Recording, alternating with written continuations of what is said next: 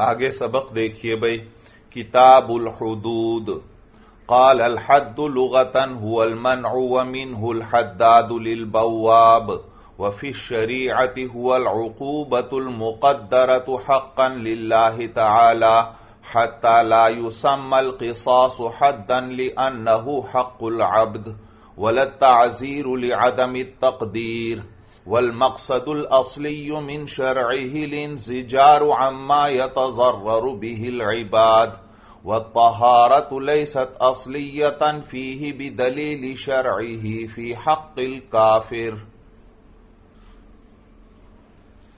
भाई गुजश्ता सबक में हमने बाबुल यमीन फिलकतल वजरबी वगैरह ही पढ़ा था भाई साहिब हिदाया ने आपको बतलाया कि अगर एक शख्स ये कसम खा लेता है कि अगर मैंने फुला की पिटाई की तो मेरा गुलाम आज़ाद है।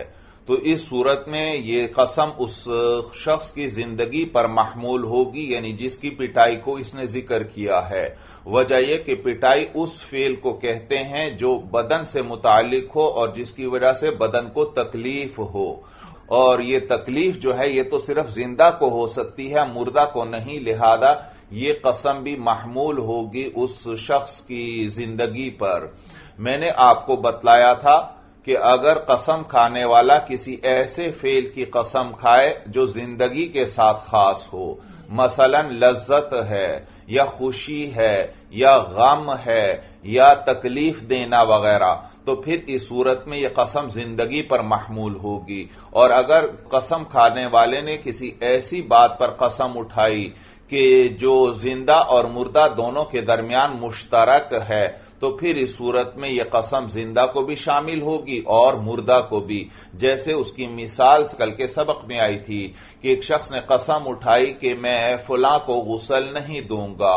तो फिर इस सूरत में चाहे ज़िंदा को गुसल दे, चाहे मुर्दा को गुसल दे, दोनों सूरतों में यह हानिस हो जाएगा भाई।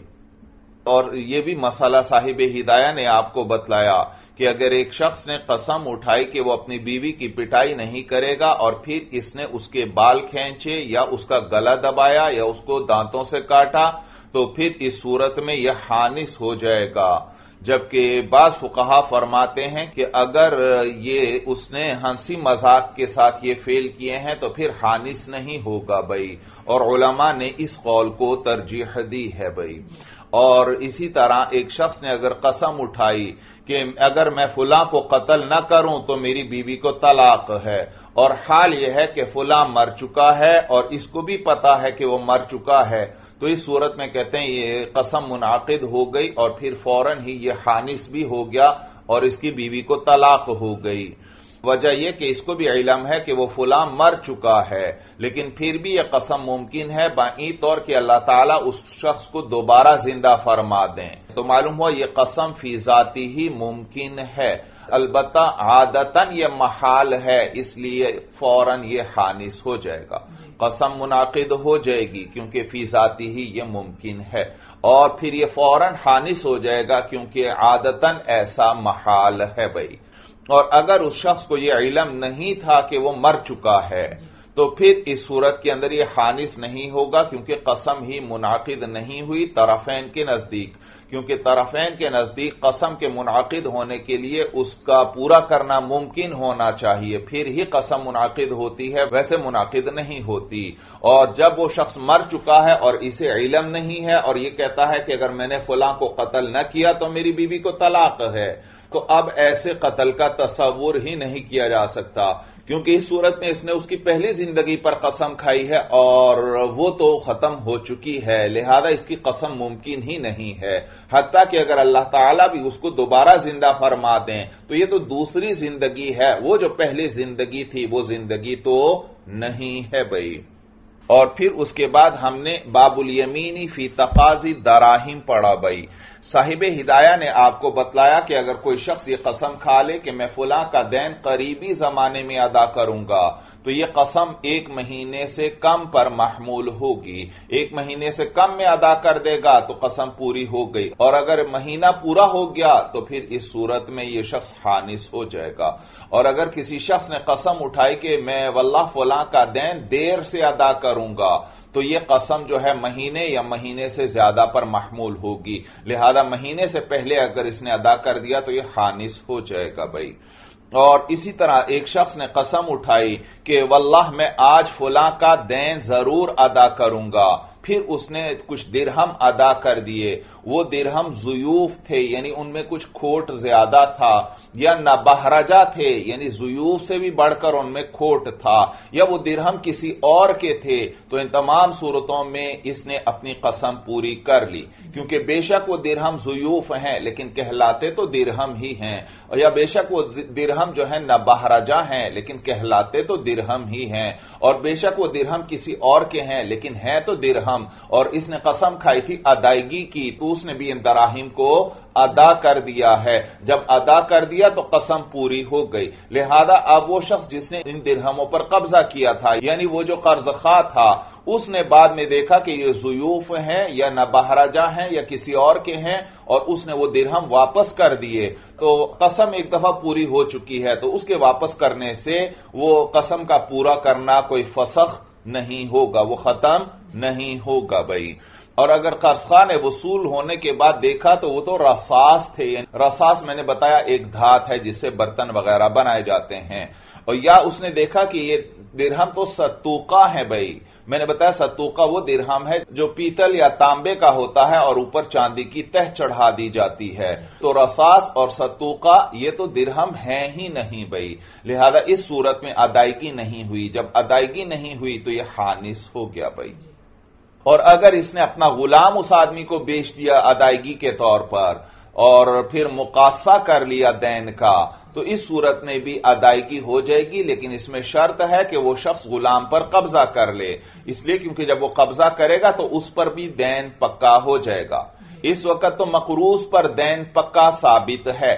और जब कर्ज खान ने इसका गुलाम खरीद लिया तो उस पर गुलाम के जो समन थे वो साबित हो गए। लेकिन वो समन जब तक वो गुलाम पर कब्जा नहीं करेगा वो पक्के साबित नहीं है वो साकित भी हो सकते हैं। क्योंकि हो सकता है ये गुलाम उसके हवाले करने से पहले ही मखरूज के पास मर जाए। तो इस सूरत में तो उस पर दैन साबित नहीं होगा। जब दैन साबित नहीं होगा तो मुकासा ना हो सकेगा। लिहाजा वो गुलाम पर कब्जा भी कर ले तो फिर इस सूरत में मुकासा हो जाएगा और यह अपनी कसम पूरी करने वाला हो गया। लेकिन अगर कर्ज खान ने वह कर्जा माफ़ कर दिया तो कहते हैं फिर इस सूरत में यह कसम पूरी करने वाला नहीं। और नीस हानिस भी नहीं हुआ। क्योंकि अब कर्ज की अदायगी की सूरत ही ना रही। इसने तो क्या कहा था? आज अगर मैंने कर्ज अदा ना किया, अब जब कर्ज ही खत्म हो गया तो अदायगी हो ही नहीं सकती भाई तो लिहाजा इसने कसम पूरी भी नहीं की और हानिस भी नहीं हुआ, क्योंकि यमीन ही बातिल हो गई। क्योंकि जब यमीन को पूरा करना मुमकिन ही ना रहे तो वो बातिल हो जाती है। तो यह भी उस कूजे वाले मसले की मिसल हो गया क्योंकि अभी दिन बाकी है और उससे पहले ही यमीन का पूरा करना नामुमकिन हो गया। जैसे कूजे वाले मसले में वो कसम खाता था कि आज मैं इस कूजे का पानी ज़रूर पीऊँगा और पानी मौजूद है और शाम से पहले किसने वो पानी गिरा दिया। तो अब दिन के आखिर में उस कसम का पूरा करना मुमकिन ही ना रहा। लिहाजा वहाँ पर वो कसम खत्म हो जाएगी, बातिल हो जाएगी। तो यहाँ पर भी इसने कसम खाई थी कि आज मैं अपना दैन ज़रूर अदा करूँगा। तो यहाँ पर भी जब उस शख्स ने दैन माफ़ कर दिया तो दिन के आखिर हिस्से में दैन की अदायगी मुमकिन ही न रही। तो लिहाजा यमीन खत्म हो गई। तो इसने कसम पूरी भी नहीं की, क्योंकि अदायगी नहीं की। और हानिस भी नहीं हुआ, क्योंकि यमीन ही बातिल हो गई, खत्म हो गई। सूरज समझ में आ गई। उसके बाद एक शख्स ने कसम उठाई कि वल्लाह मैं अपना दैन मुतफरिक तौर पर वसूल नहीं करूँगा। और फिर कुछ दैन मुतफरिक तौर पर वसूल कर लिया। तो कहते हैं यह हानिस नहीं है, जब तक यह सारा दैन मुतफरिक तौर पर वसूल ना कर ले। इसलिए क्योंकि इसने क्या कहा था? कि मैं अपना दैन मुतफरिक तौर पर वसूल नहीं करूँगा। और तो इस सूरत में इसने दैन की अपनी तरफ़ नस्बत की है तो वो सारा इसका दैन मुराद होगा। तो इसमें अब दो शर्तें हैं। एक तो यह कि वो सारा दैन वसूल करे, और दूसरा यह कि वो मुतफरिक तौर पर हो तो फिर यह हानिस होगा। तो अगर कुछ दैन इसने मुतफरिक तौर पर वसूल किया है तो जब तक पूरा दैन वसूल नहीं, उस वक्त तक यह हानिस भी नहीं है। और अगर इसने अपने दैन पर इस तरह कब्जा किया कि उनको दो या तीन मरतबा अलग तोल कर वसूल किया तो कहते हैं इसको तफरीक नहीं कहते, क्योंकि दिरहम, दीनार जो है, इनको बाज अवकात वज़न करना पड़ता है। और एक ही मरतबा सबका वज़न मुमकिन नहीं रहता। तो फिर लिहाजा इस सूरत में अगर किसी और काम में दरमियान में मशगूल न हुए तो फिर इसको तफरीक नहीं कहेंगे। और अगर वज़न करने के दरमियान किसी और काम में मशगूल हुए तो इसको तफरीक कहेंगे और इस सूरत में यह हानिस हो जाएगा भाई। और फिर साहिब हिदाया ने मसला ज़िक्र फरमाया कि अगर मेरे लिए सौ दिरहम के अलावा हुए तो मेरी बीवी को तलाक है। और फिर जब देखा गया तो उसके पास सिर्फ़ पचास दिरहम थे। तो अल्फाज को देखें तो अल्फाज तकाजा करते हैं कि इसको हानिस होना चाहिए। इसलिए क्योंकि इसने क्या कहा है? मेरे पास अगर सौ दिरहम के अलावा कुछ हुआ, मालूम सौ दिरहम तो ज़रूर हैं, उससे जायद नहीं है। तो इसके पास सौ दिरहम का होना ज़रूरी है कसम के पूरा होने के लिए। लेकिन देखा गया तो इसके पास तो सिर्फ़ पचास दिरहम है भाई। तो अल्फाज को देखें तो हानिस होना चाहिए। लेकिन कहते हैं हानिस नहीं होगा उर्फ़ की वजह से। क्योंकि उर्फ़ के अंदर जब इस तरह का कलाम किया जाता है तो उसका मकसद यह होता है कि मेरे पास इससे ज़्यादा माल नहीं है। इसका यह मतलब नहीं होता इतना पूरा माल है मेरे पास बल्कि मतलब होता है इससे ज़्यादा माल मेरे पास नहीं है, इतना है इससे कम है भाई। तो लिहाजा यह हानिस नहीं होगा। और नीस जब इसने सौ का इस्तेसना किया तो सौ का इस्तेसना हो गया उसके सारे अजजा के साथ भाई। और पचास भी क्या है? सौ के अजजा में से है भाई। लिहाजा जब सौ का इस्तेसना हुआ तो सौ के अजजा का भी इस्तेसना हो गया भाई। और फिर साहिब हिदाया ने मसला बतलाया कि अगर कोई शख्स किसी काम को न करने की कसम खाए तो फिर उस काम को हमेशा के लिए छोड़ना होगा। अगर एक दफ़ा भी उसको करेगा तो हानिस हो जाएगा। और अगर किसी काम के करने की कसम उठाई तो यह सिर्फ़ एक दफ़ा करने पर महमूल है। एक दफ़ा भी वो काम कर लेगा तो इसकी कसम पूरी हो जाएगी भाई।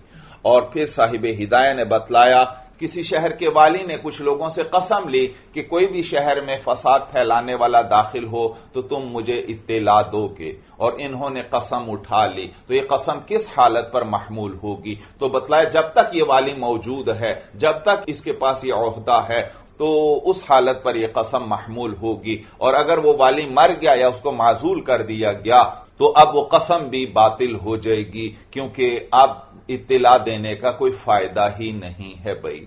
और इसी तरह एक शख्स ने कसम उठाई कि वल्लाह, मैं अपना गुलाम फुला को हिबा करूँगा, फिर इसने उसको हिबा किया, लेकिन उसने कबूल नहीं किया तो कहते हैं फिर भी इसकी कसम पूरी हो गई।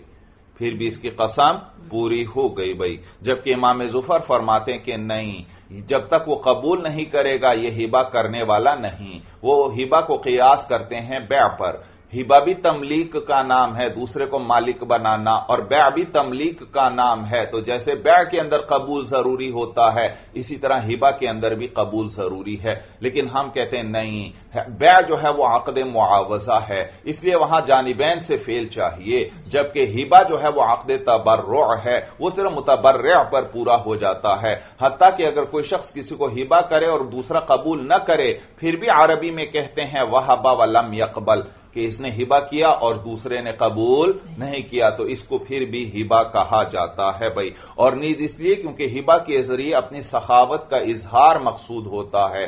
तो जब ये मुतबर्र हिबा कर रहा है तो इसकी सखावत का इजहार हो गया। लिहाजा अब उसमें दूसरे के कबूल की ज़रूरत नहीं है भाई। बात समझ में आ गई। और इसी तरह साहिब हिदाय ने बतलाया कि किसी शख्स ने अगर कसम उठाई कि वो रेहान नहीं सूंघेगा और उसने फिर गुलाब या चंबेली को सूंघा तो वो हानिस नहीं होगा। और अगर किसी ने बनफशा की कसम खाई कि मैं बनफशा नहीं खरीदूँगा तो यह कसम बनफशा के तेल पर महमूल होगी भाई, क्योंकि उर्फ़ में इससे बनफशा का तेल मुराद लिया जाता है। मैंने बताया इसका दारोमदार उर्फ़ पर है। हर इलाके का अपना उर्फ़ होता है तो उसके मुताबिक ही इसको देखा जाएगा। अब आइए आज के सबक पर। किताबुल हदूद अल हद्दुलगतन हुल मन मिन हुल हद्दादुल बवाब वफी शरीअति हुल उकूबतुल मुकद्दरत हक्कन लिल्लाहि तआला भाई याद रखो शरीयत में सजाएँ जो हैं वो दो किस्म की हैं। काजी जो सजा देता है मुजरिमों को वो दो किस्म की सजाएँ हैं भाई। कुछ को हदूद कहते हैं और कुछ को ताजीर कहते हैं। अजरा युजिर ताजीरन भाई। तो काजी जो सजाएँ देता है यूँ कहें शरीयत में जो सजाएँ हैं, वो दो किस्म की हैं। कुछ को हदूद कहते हैं और कुछ को ताजीर कहते हैं। याद रखो, हदूद वो सजाएँ हैं जो अल्लाह की तरफ़ से बाकायदा मुकर्र हैं। जैसे जैसे चोरी की सजा यह है कि चोर का हाथ काटा जाता है। जैसे गैर शादीशुदा अगर जीना कर ले तो उसकी सजा यह है कि उसे सौ कोड़े लगाए जाते हैं, मर्द और औरत को। सौ सौ कोड़े लगाए जाते हैं। इसी तरह अगर कोई शख्स किसी पर तोहमत लगा दे जीना की तो उसको अस्सी कोड़े लगाए जाते हैं। इसी तरह अगर कोई शख्स डाका डालता है तो इस सूरत में उसका एक हाथ और मुखालिफ सिमत का पाँव काटा जाता है। तो यह है हदूद भाई। ये अल्लाह की तरफ़ से ये सजाएँ मुकर्र हैं भाई। और जबकि बाकी सजाएँ जो हैं वो काजी की सवाबदीद पर हैं। काजी अपनी मर्ज़ी से वो सजाएँ देता है किसी को कम दे किसी को ज़्यादा दे उसमें काजी की मर्ज़ी है। वो बाकी सजाएँ अल्लाह की तरफ़ से मुकर्र नहीं। तो हदूद के अलावा जो बाकी सजाएँ हैं उनको ताजीर कहा जाता है। और याद रखो ये जो हदूद हैं ये कुल छह हैं भाई। हदूद छह हैं भाई छह सजाएँ हैं जिनको हदूद कहा जाता है। छह सजाएँ हैं। नंबर एक हद जीना भाई। शादीशुदा अगर जीना करेगा तो उसे रजम किया जाएगा उसे संगसार किया जाएगा पत्थर मार मार कर उसे कत्ल कर दिया जाएगा। और अगर गैर शादीशुदा जीना करे तो उसे सौ कोड़े लगाए जाएँगे। यह है हद जीना। दूसरी है हद शुरब खमर शराब पीने की हद। याद रखो, जो भी शराब पिएगा, उसको अस्सी कोड़े लगाए जाएँगे। उसको अस्सी कोड़े लगाए जाएँगे। जबकि बाज रिवायात में है कि हद शुरब खमर इब्तदा में चालीस कोड़े थे, और बाद में हज़रत उमर रज़ी अल्लाह तहो के दौर में इसे अस्सी कोड़े कर दिया गया, और इस पर तमाम सहाबा का इत्तेफाक हो गया, इजमा हो गया। तो हद शुरब खमर जो है ये अस्सी कोड़े हैं भाई। जबकि गुलाम की सजा आज़ाद के मुकाबले में निसफ होती है तो गुलाम को चालीस कोड़े लगेंगे भाई हद शुरब खमर के तौर पर। तो पहली जो है वो हद जिना है दूसरी जो है हद शुरब खमर है तीसरी है हद सुकर मिन गैर खमर। हद सुकर सीन काफरा छोटा काफ है सीन काफरा। सुकर कहते हैं नशे को। हद सुकर मिन गैर खमर। शराब के अलावा कोई और नशा और मशरूब इस्तेमाल करना जिससे नशा हो जाए। तो इस सूरत में भी अस्सी कोड़े सजा है भाई। तो शराब पीने की हद अलग है। शराब के अंदर याद रखो, शराब के अंदर नशे की भी शर्त नहीं है। कोई शख्स एक कतरा शराब का भी पी लेगा और काजी के पास यह बात साबित हो जाए तो उस पर हद शुरब खमर जारी होगी। जबकि और नशावर मशरूब पिएगा तो उसमें उसमें नशे को देखा जाएगा। अगर नशा हुआ तो वो हद आएगी। अगर नशा नहीं तो वो हद भी नहीं आएगी भाई। तो एक हद क्या है? हद जिना। दूसरी, हद शुरब खमर। तीसरी, हद सुकर मिन गैर खमर। खमर के अलावा किसी और चीज़ से नशा हो। और चौथी हद है, हद कजफ भाई किसी पर जिना की तोहमत लगाई तो उसको भी अस्सी कोड़े लगाए जाएँगे। और आइंदल अहनाफ, उसकी आइंदा कभी गवाही कबूल नहीं की जाएगी। क्योंकि कुरान में अल्लाह फरमाते हैं फला तकबलू लहुम शहादतन अबदा कि इनकी कभी भी गवाही कबूल ना करो। इंदल अहनाफ ये भी हद का हिस्सा है भाई। और पांचवी हद है हद सरीका भाई चोरी की हद कि चोरी करने वाले का हाथ काट दिया जाता है भाई। और छठी हद जो है हद कत तरीक है। हद कत तरीक, कत उनका माना है काटना, तरीक रास्ते को कहते हैं कत तरीक रास्ता काटना, मुराद डाका है भाई। तो डाके की सजा यह है कि डाका डालने वाले का एक हाथ काटा जाता है और उसके दूसरी जानिब का पाँव काटा जाता है। तो एक ही जानिब के हाथ और पाँव नहीं काटे जाते, वरना तो इस शख्स के लिए चलना ही नामुमकिन हो जाएगा। एक तरफ़ का पाँव कटा है तो उस तरफ़ का हाथ तो सलामत होगा तो उस तरफ़ लाठी पकड़कर चल लेगा। लेकिन अगर उसी तरफ़ का हाथ भी काट दिया जाए, फिर तो ये उस तरफ़ लाठी भी पकड़कर नहीं चल सकता भाई। तो ये कुल छह हदूद हैं। हद जिना, हद शुरब खमर हद सुकर मिन गैर खमर, हद कजफ। और हद सरिका और हद कत तरीक बई। तो ये छह हदूद हैं ये अल्लाह की तरफ़ से मुकर हैं जबकि इनके अलावा बाकी जो सजाएँ हैं वो ताजीर कहलाती हैं बई। याद रखो ये हदूद जमा है हद की। किताबुल हदूद बई। ये हदूद जमा है हद की और अरबी ज़ुबान में हद का माना है रोकना मना करना। साहिब हिदाया भी आपको बतलाएँगे भाई हद का माना है रोकना और मना करना। चुनाचे कहते हैं, जब कोई शख्स किसी चीज़ को रोके तो अरबी में कहते हैं हदत तुशैआ हदत तुशैआ मैंने उस चीज़ को रोक दिया। इसी तरह, ज़मीन की मिल्कियत को भी हदूद कहते हैं। किसी शख्स की ज़मीन होती है, वो उसकी हदूद बयान करता है कि यहाँ से यहाँ तक है भाई।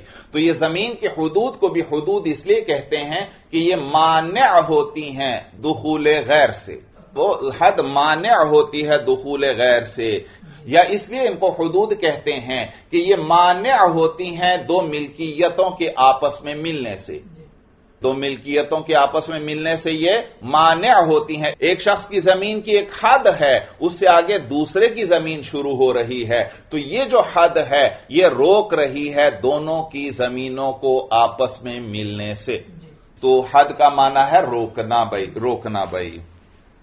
और ये शर्य हदूद को शर्य हदूद क्यों कहते हैं?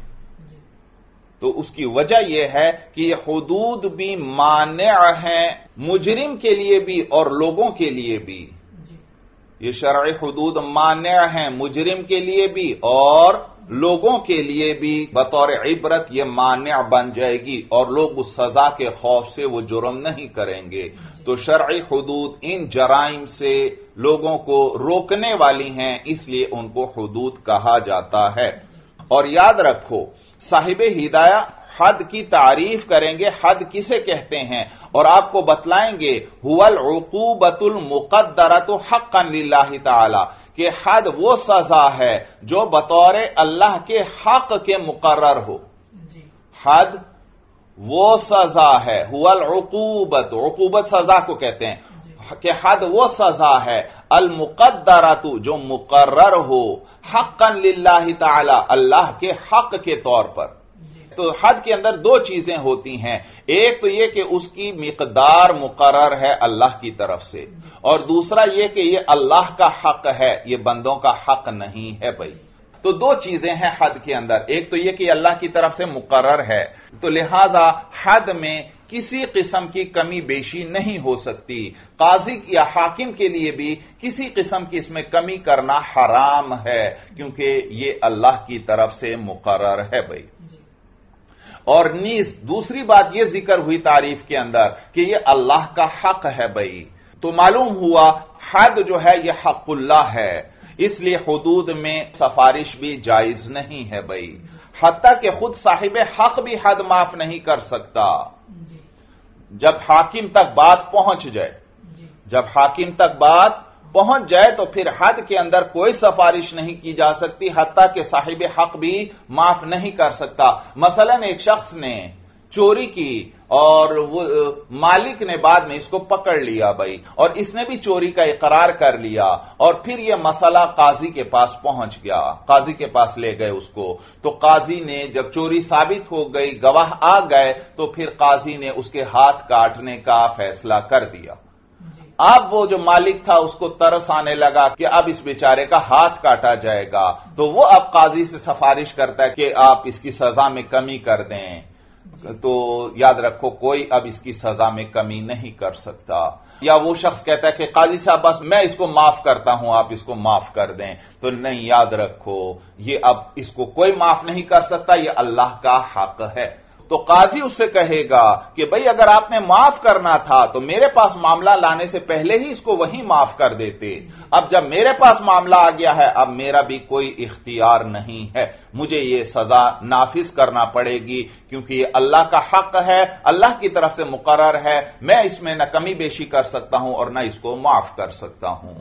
और यह भी याद रखना यह भी याद रखना कि हद का मामला निहायत नाजुक है। हद इंतहा दर्जे की सजाएँ हैं भाई।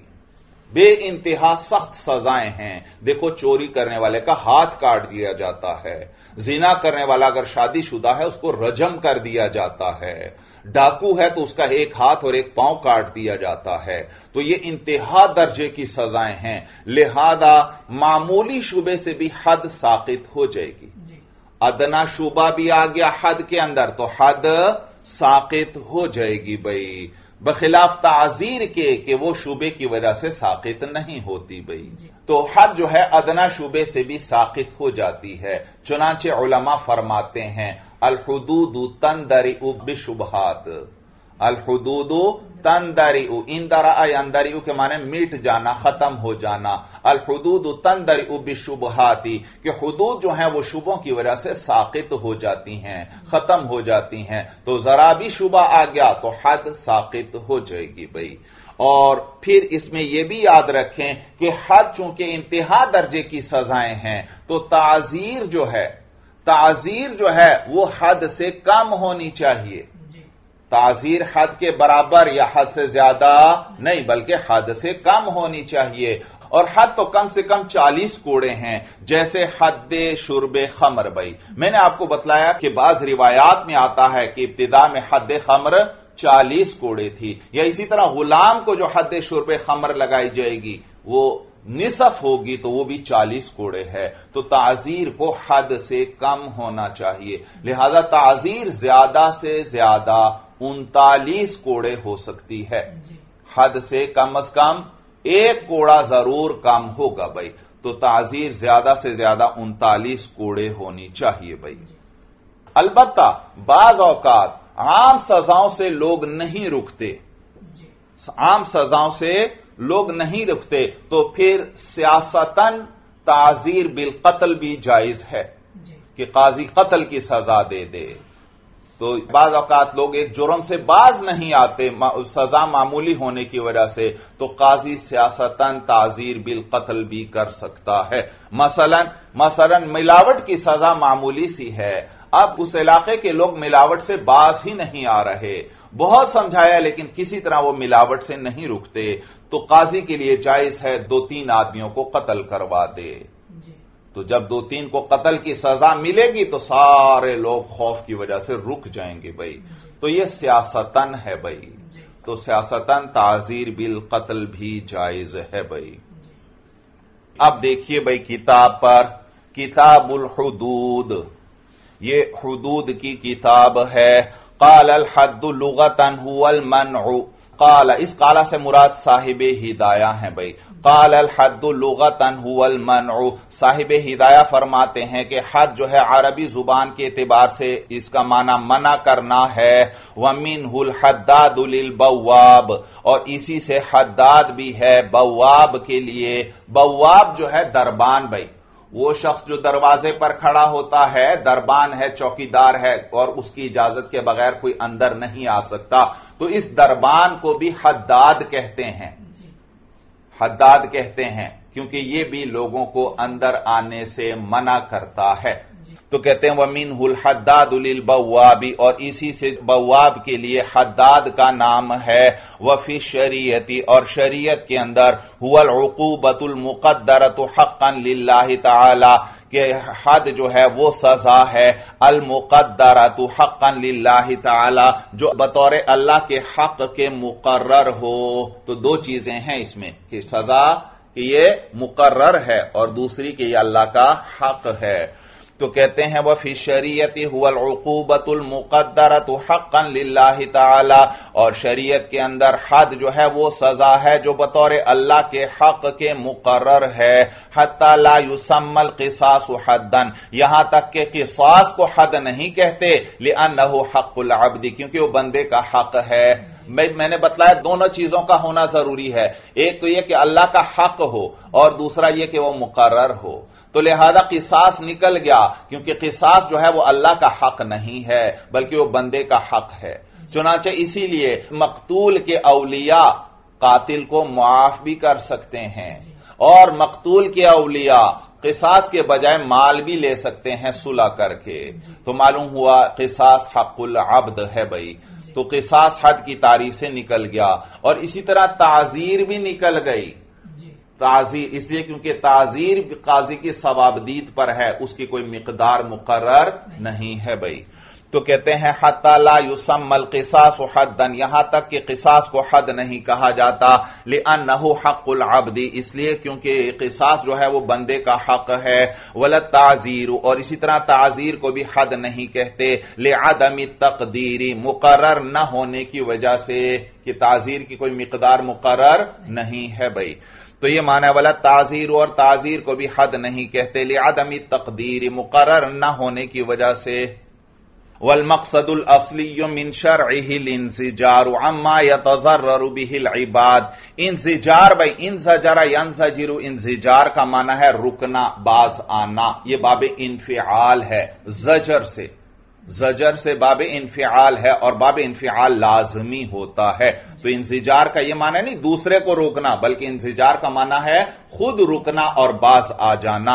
अब इसका मकसद क्या है इन हदूद का? मैंने बतला दिया ताकि मुजरिम और लोग जो हैं वो इन जराइम से बाज आ जाएँ। कहते हैं, वल मकसदुल असली युमिन शरई और असली मकसद जो है, इन हदूद की मशरूयत से, अल इंजारू वो बाज आना है, वो रुकना है, अम्मा यतजर्र बिहिल इबादू, उस चीज़ से जिससे लोगों को नुकसान होता है। अल इंजार बिहिल इबादू, बाज आना उस चीज़ से जिससे लोगों को नुकसान होता है। चाहे लोगों की जान का नुकसान हो चाहे माल का नुकसान हो चाहे इज़्ज़त का नुकसान हो। उन तमाम अफाल से रुकना जिससे लोगों को जानी माली या इज़्ज़त का नुकसान पहुँच रहा हो भाई जैसे देखो मसा हद जिना की वजह से जान की हिफाजत होगी औरतों की जान की हिफाजत होगी। या इसी तरह हद कसफ जो है किसी पर जिना की तोहमत लगाना। तो हद कजफ की वजह से लोगों की इज़्ज़त की हिफाजत होगी। कोई किसी पर जिना का इल्ज़ाम नहीं लगा सकेगा भाई, कि कहीं मुझ पर हद कजफ न जारी हो जाए भाई। और इसी तरह हद सरीका है, चोरी की हद है, उसकी वजह से लोगों के माल की हिफाजत होगी भाई। तो कहते हैं, वल मकसदुल असली और इस हद की मशरूयत का असली मकसद जो है, वो रुकना है उस फेल से जिससे लोगों को नुकसान होता हो। व तहारतुलसत असलियतन फ़ी बिदलील शरही फ़ी हक़िल काफिरी। भाई, साहिब हिदाया ने आपको बतला दिया कि यह हदूद की मशरूयत का असली मकसद यह है कि जुर्म करने वाला और बाकी लोग जो हैं, वो इस किस्म के अफआल से बाज आ जाएँ। मुजरिम को जब एक दफ़ा सजा मिल गई, वो दोबारा ऐसा नहीं करेगा। और नीज लोग उसकी हालत को देखकर इबरत पकड़ेंगे और कोई और भी ये जुर्म नहीं करेगा। तो ये है हदूद का मकसद असली। जबकि बाज उलमा फरमाते हैं कि हदूद का मकसद यह है कि वो आदमी उस गुनाह से पाक हो जाए। उस शख्स ने एक बड़ा गुनाह किया है, लिहाजा उस पर जब हद जारी होगी तो उसका गुनाह माफ़ हो जाएगा। आखिरत में अब उसका मुआखजा नहीं होगा क्योंकि उसको उसके जुर्म की सजा मिल चुकी है भाई। लेकिन साहिब हिदाया फरमा रहे कि नहीं, यहाँ यहाँ हदूद के अंदर तहारत असल नहीं है। यानी मकसद असली तहारत नहीं है, बल्कि मकसद असली उस मुजरिम को और लोगों को जुर्म से रोकना है भाई। तो मकसद असली जो है वो गुनाह से पाकी नहीं है। और दलील इसकी ज़िक्र करेंगे साहिब हिदाया कि वजह यह कि यह हदूद काफिर के हक में भी मशरू हैं। काफिर भी यह जुर्म करेगा तो उस पर भी यह हद जारी होगी। और काफिर के बारे में तो यह कोई नहीं कह सकता कि इसका गुनाह माफ़ हो गया। क्योंकि काफिर तो अपने कुफर में डूबा हुआ है। उसका कुफर उसके साथ जुड़ा हुआ है।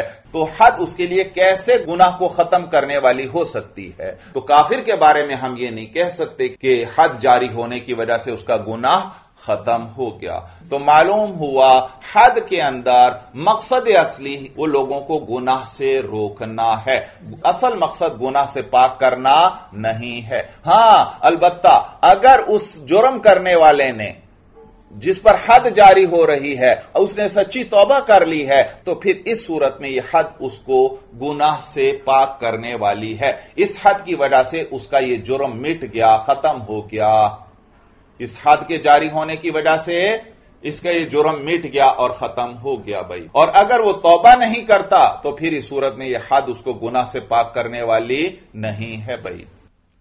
तो साहिब हिदाया फरमाते हैं वह तहारतुल्लसत असलियतन फ़ी ही और तहारत यानी गुनाहों से पाकी जो है, वो हद के अंदर असल नहीं है। बिदलील शरही फ़ी हक़िल काफिरी। इस दलील से कि यह काफिर के हक में भी मशरू है। यह हद जो है, काफिर के हक में भी मशरू है। काफिर को भी यही सजा दी जाती है। यह इस बात की दलील है कि हद के अंदर तहारत असल नहीं है। इसकी वजह से गुनाह माफ़ नहीं होगा। इल्ला ये कि वो शख्स तौबा कर ले।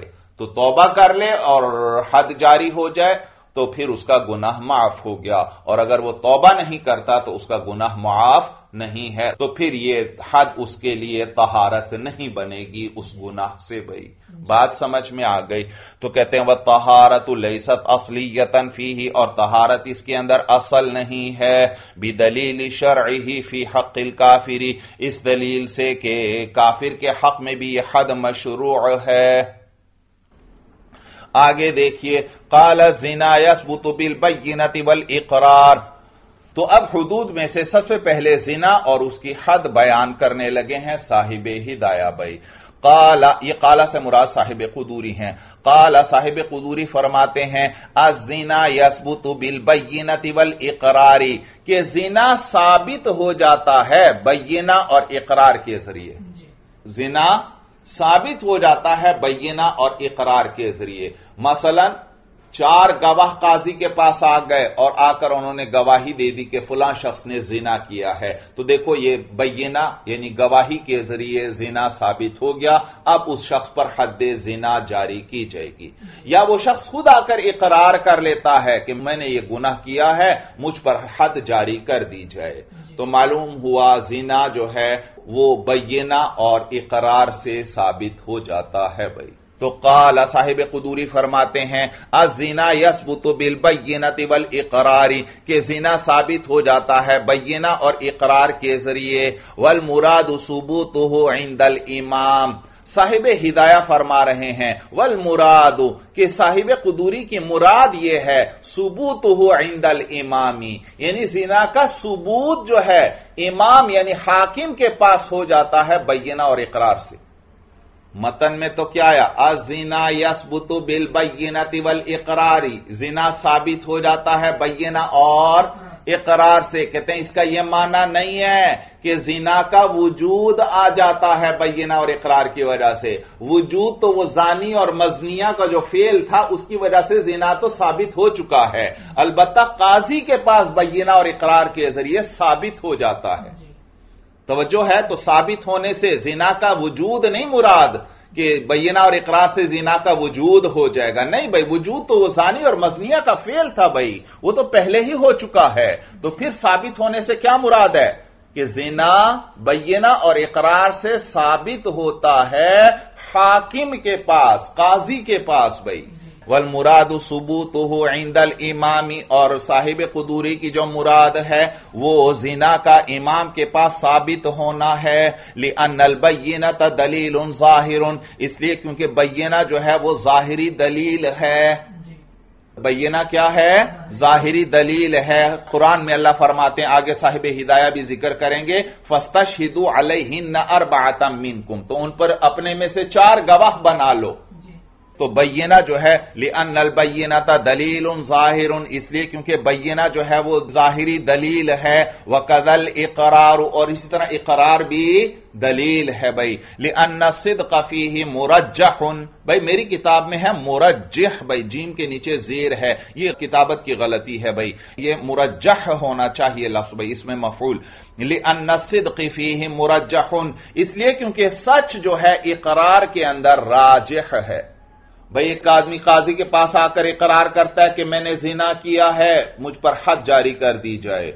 तो इसके इकरार में सच का भी एहतमाल है, झूठ का भी एहतमाल है। लेकिन सच जो है राजह है भाई यहाँ पर। सच को तरजीह है। खास तौर पर जब एक ऐसा मामला है जिसमें इस आदमी को बदनी नुकसान भी होगा और इसकी इज़्ज़त को भी नुकसान होगा। बदनी नुकसान होगा, इस पर सजा जारी होगी और इज़्ज़त का भी नुकसान होगा कि लोगों के अंदर भी इसकी इज़्ज़त खराब होगी कि इसने जुर्म किया है भाई। तो इकरार के अंदर दोनों एहतमाल हैं, सच का भी और झूठ का भी, लेकिन सच राजह है झूठ के मुकाबले में। तो कहते हैं, वकदल इकरार, और इसी तरह इकरार जो है वो भी जाहिरी दलील है लिअन सिद कफी ही मुरजहन इसलिए क्योंकि इकरार के अंदर सच जो है वो राजह है, ला सीमा फीमा यतअल्लक बिसबूत ही मजर्रतुन व मर्रतुन मजर्रतुन जाद के साथ है भाई। मजर्रतुन कहते हैं नुकसान और तकलीफ़ को। जरर से है जरर मजर्रतुन का क्या माना? नुकसान और तकलीफ़. और मार्रतुन मार्रतुन भी तकलीफ़ को कहते हैं और इसी तरह ऐब को भी कहते हैं। तो मजर्रतुन का माना तकलीफ़ के कर लें और मार्रतुन का माना ऐब के कर लें भाई। तो कहते हैं लासी या माफ़ी मा यतअल्लक बिसबूती ही मजर्रतुन व मार्रतुन खास तौर पर उस चीज़ के अंदर कि जिसके साबित होने के साथ बदनी नुकसान और इज़्ज़त में ऐब साबित हो। खास तौर पर ऐसी चीज़ में कि उस चीज़ के साबित होने से बदनी नुकसान होता हो और इज़्ज़त में भी, इज़्ज़त में भी ऐब लगता हो। तो खास तौर पर ऐसे मकाम पर इकरार के अंदर सच राजह है भाई। फिर तर्जमा देख लीजिए, कहते हैं लासिया माफीमा यतअल्लक बिसबूती ही मजर्रतुन व मार्रतुन मा, खास तौर पर फीमा ऐसी चीज़ के अंदर यतअल्लक बिसबूती ही कि उसके साबित होने के साथ मुतअल्लिक हो। क्या मुतअल्लिक हो? मजर्रतुन व मार्रतुन तकलीफ़ और ऐब बई। वल वसूल इल इल्म कतई मुतअज्जिर और पहुँचना इलल इल्म कतई कतई इलम तक। मुताजिर वो तो मुताजिर है मुमकिन नहीं है। भाई जिना हकीकत में जानी और मजनिया ने किया है या नहीं किया? हकीकत इलम तक पहुँचना मुमकिन नहीं है क्योंकि जिना छुपा कर किया जाता है। तो लिहाजा जाहिरी दलील पर ही इक्तफा करना पड़ेगा। और जाहिरी दलील जो है वो गवाह है या इस आदमी का इकरार है भाई। तो यह माना है, वल वसूल इल्म कतई मुताजिर और कतई इलम तक पहुँचना मुमकिन नहीं है। फयुक तफा जाहिरी तो ज़ाहिर पर ही इक्तफा कर लिया जाएगा। यानी बैना या इकरार पर ही इक्तफा कर लिया जाएगा।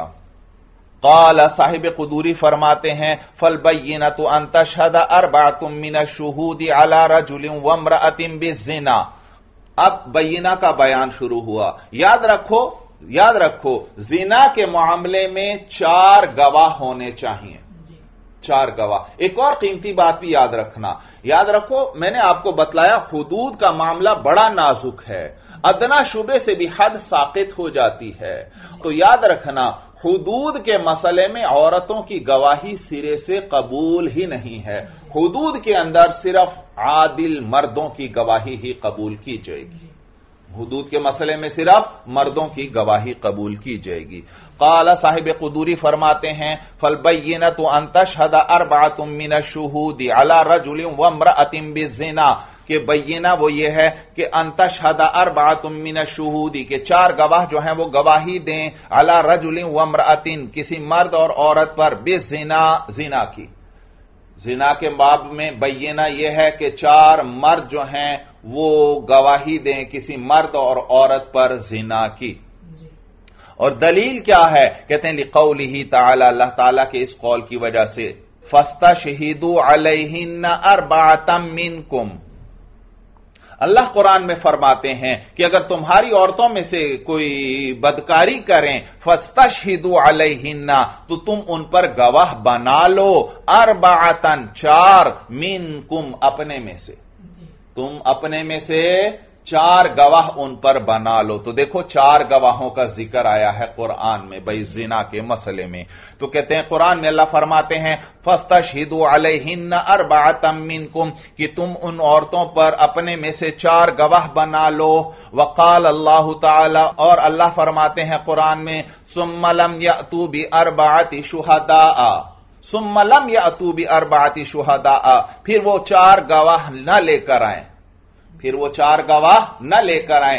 भाई देखिए, ये कुरान के अंदर अल्लाह ताला हद कजफ को बयान फरमाते हैं। वल्लदीन यरमून अलमहसनाती और वो लोग जो पाकदामन औरतों पर जिना की तोहमत लगाएँ। सुम लम भी अरबाती शुहदा फिर वो चार गवाह न लेकर आए। फजलिदू हम समानी न जलदा तो फिर उनको अस्सी कोड़े लगाओ। वला तकबलू लहम शहादतन अबदा और उनकी गवाही कभी कबूल न करो। वह उलाइका हमुल फासिकून और यही लोग फासिक हैं। तो देखो यहाँ पर भी चार गवाहों को ज़िक्र किया है अल्लाह ने जिना की तोहमत के मामले में। तो मालूम हुआ जिना के अंदर कम अज कम कितने गवाह चाहिए? चार गवाह भाई तो कहते हैं, वकाल अल्लाह ताला, और अल्लाह कुरान में फरमाते हैं सुमलम यतू भी अरबाती शुहदा फिर वो चार गवाह न लेकर आए। आगे देखिए, वकाल सलात वसलामदी कजफ अमरातहू और हुजूर सलाम ने उस शख्स से फरमाया, जिसने अपनी बीवी पर जिना की तोहमत लगाई थी इतबी अरबाती यशदून अला सिद्क मकालती का इतबी अरबातीन, के चार गवाह लेकर आओ। यश यशदून अला सिद्क मकालती का जो तुम्हारे बात की सच्चाई पर गवाही दें। एक सहाबी ने अपनी बीवी पर जिना का इल्ज़ाम लगाया भाई। तो हुजूर सलाम ने उनसे फरमाया एतिबी अरबाती यशहदून अला सिद्क मकालती कि चार गवाह लेकर आओ, जो तुम्हारी बात की सच्चाई की गवाही दें, वरना तुम पर हद जारी होगी। तो देखो, यहाँ पर भी चार गवाहों का ज़िक्र है हदीस के अंदर। मालूम हुआ जिना के मसले में कम अज कम चार गवाह चाहिए भाई। आगे देखिए वली अन फिश्तरातिल अरबाती यतहक मान सतरी। और नीज इसलिए क्योंकि चार की शर्त लगाने के अंदर सतर का माना पाया जाएगा।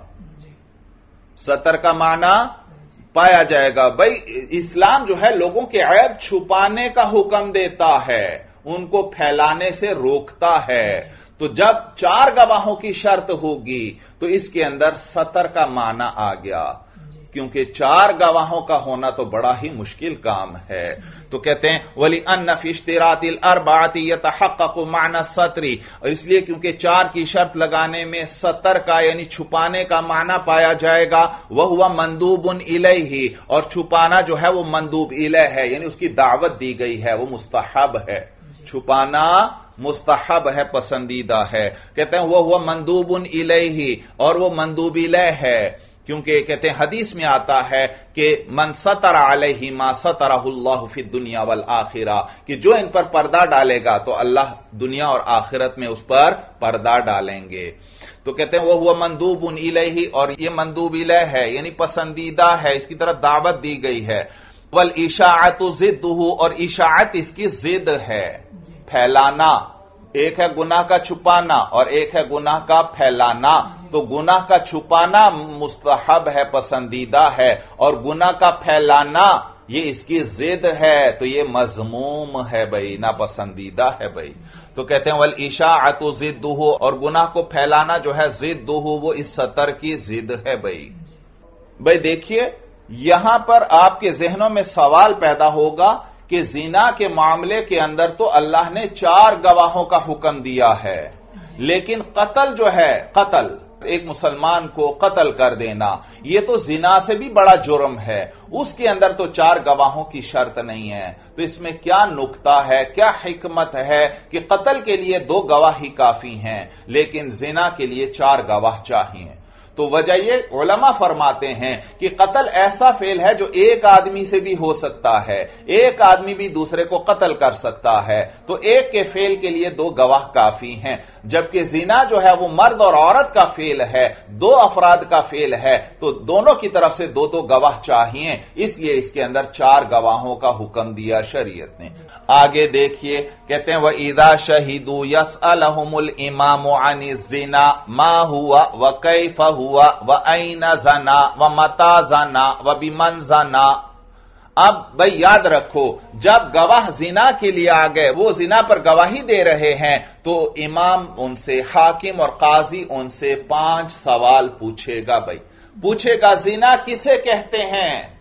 ये भी मालूम है या नहीं? और फिर पूछेगा, जिना कैसे किया जाता है? ये भी पूछेगा, और फिर पूछेगा, इसने कहाँ जिना किया?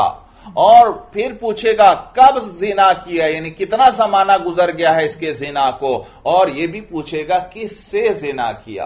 तो पाँच सवाल पूछेगा काजी उनसे। पहला सवाल क्या? कि जिना किसे कहते हैं?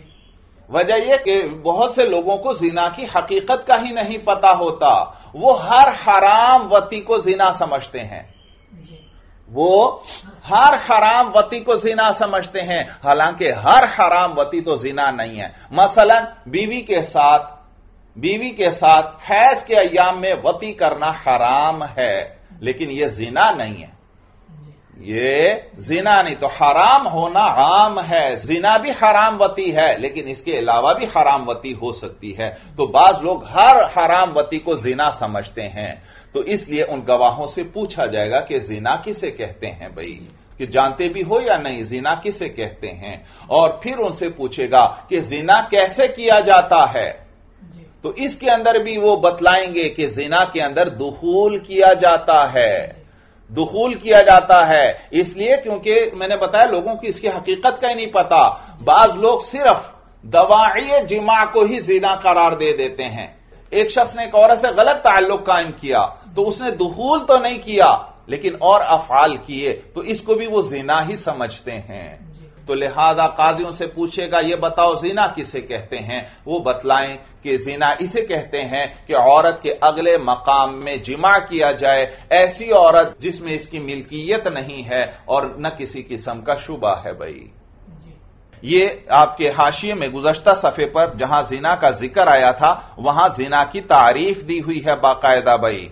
कि जिना जो है, अजीना कजा उल मुकल्लफी शहबतहू फ़ी कुबुल मरअतिन खालियतिन अलिल मिल्कैनी व शुभ हतिहिमा व शुभ हतिल इश्तिबाही। कि जीना जो है, वो मुकल्लफ का, मुकल्लफ किसे कहते हैं? आकिल बालिग। हर आकिल बालिग मुकल्लफ है। मुकल्लफ का क्या माना? जिम्मेदार है, उस पर शरी अहकाम लागू होते हैं। तो जिना कहते हैं, अजिना कजा उल मुकल्लफी के कोई आकिल बालिग पूरी करे शहवताहू, अपनी शहवत को, फ़ी कुबुली मरातिन किसी औरत के अगले मकाम में, खालियतिन अनिल मिलकैनी, जो दोनों किस्म की मिल्कियतों से खाली हो, यानी ना उसकी बीवी हो और ना उसकी बांदी हो। दोनों तरह की मिल्कियतों से खाली हो वह शुभ हती और नीज वहाँ शुभ मिल्कियत भी ना हो। जैसे बाप अपने बेटे की बांदी से सोहबत कर ले तो आप पढ़ चुके हैं, वहाँ शुबा आ गया, क्योंकि हदीस में हुजूर ने फरमाया, अंत व मालू का लि अबी का और आपने पढ़ा है कि अदना शुबे की वजह से भी हद साकित हो जाती है।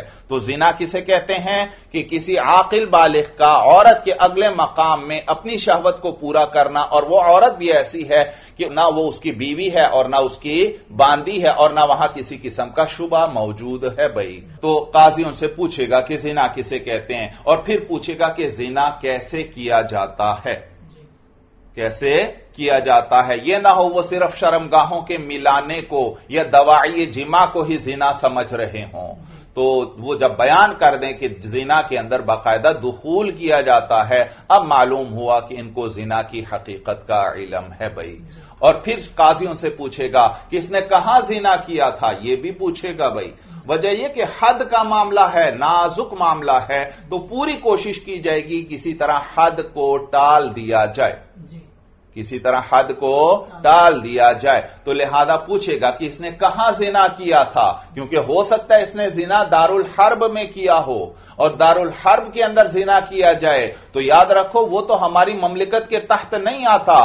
तो वहाँ किए हुए जिना पर हद जारी नहीं हो सकती भाई।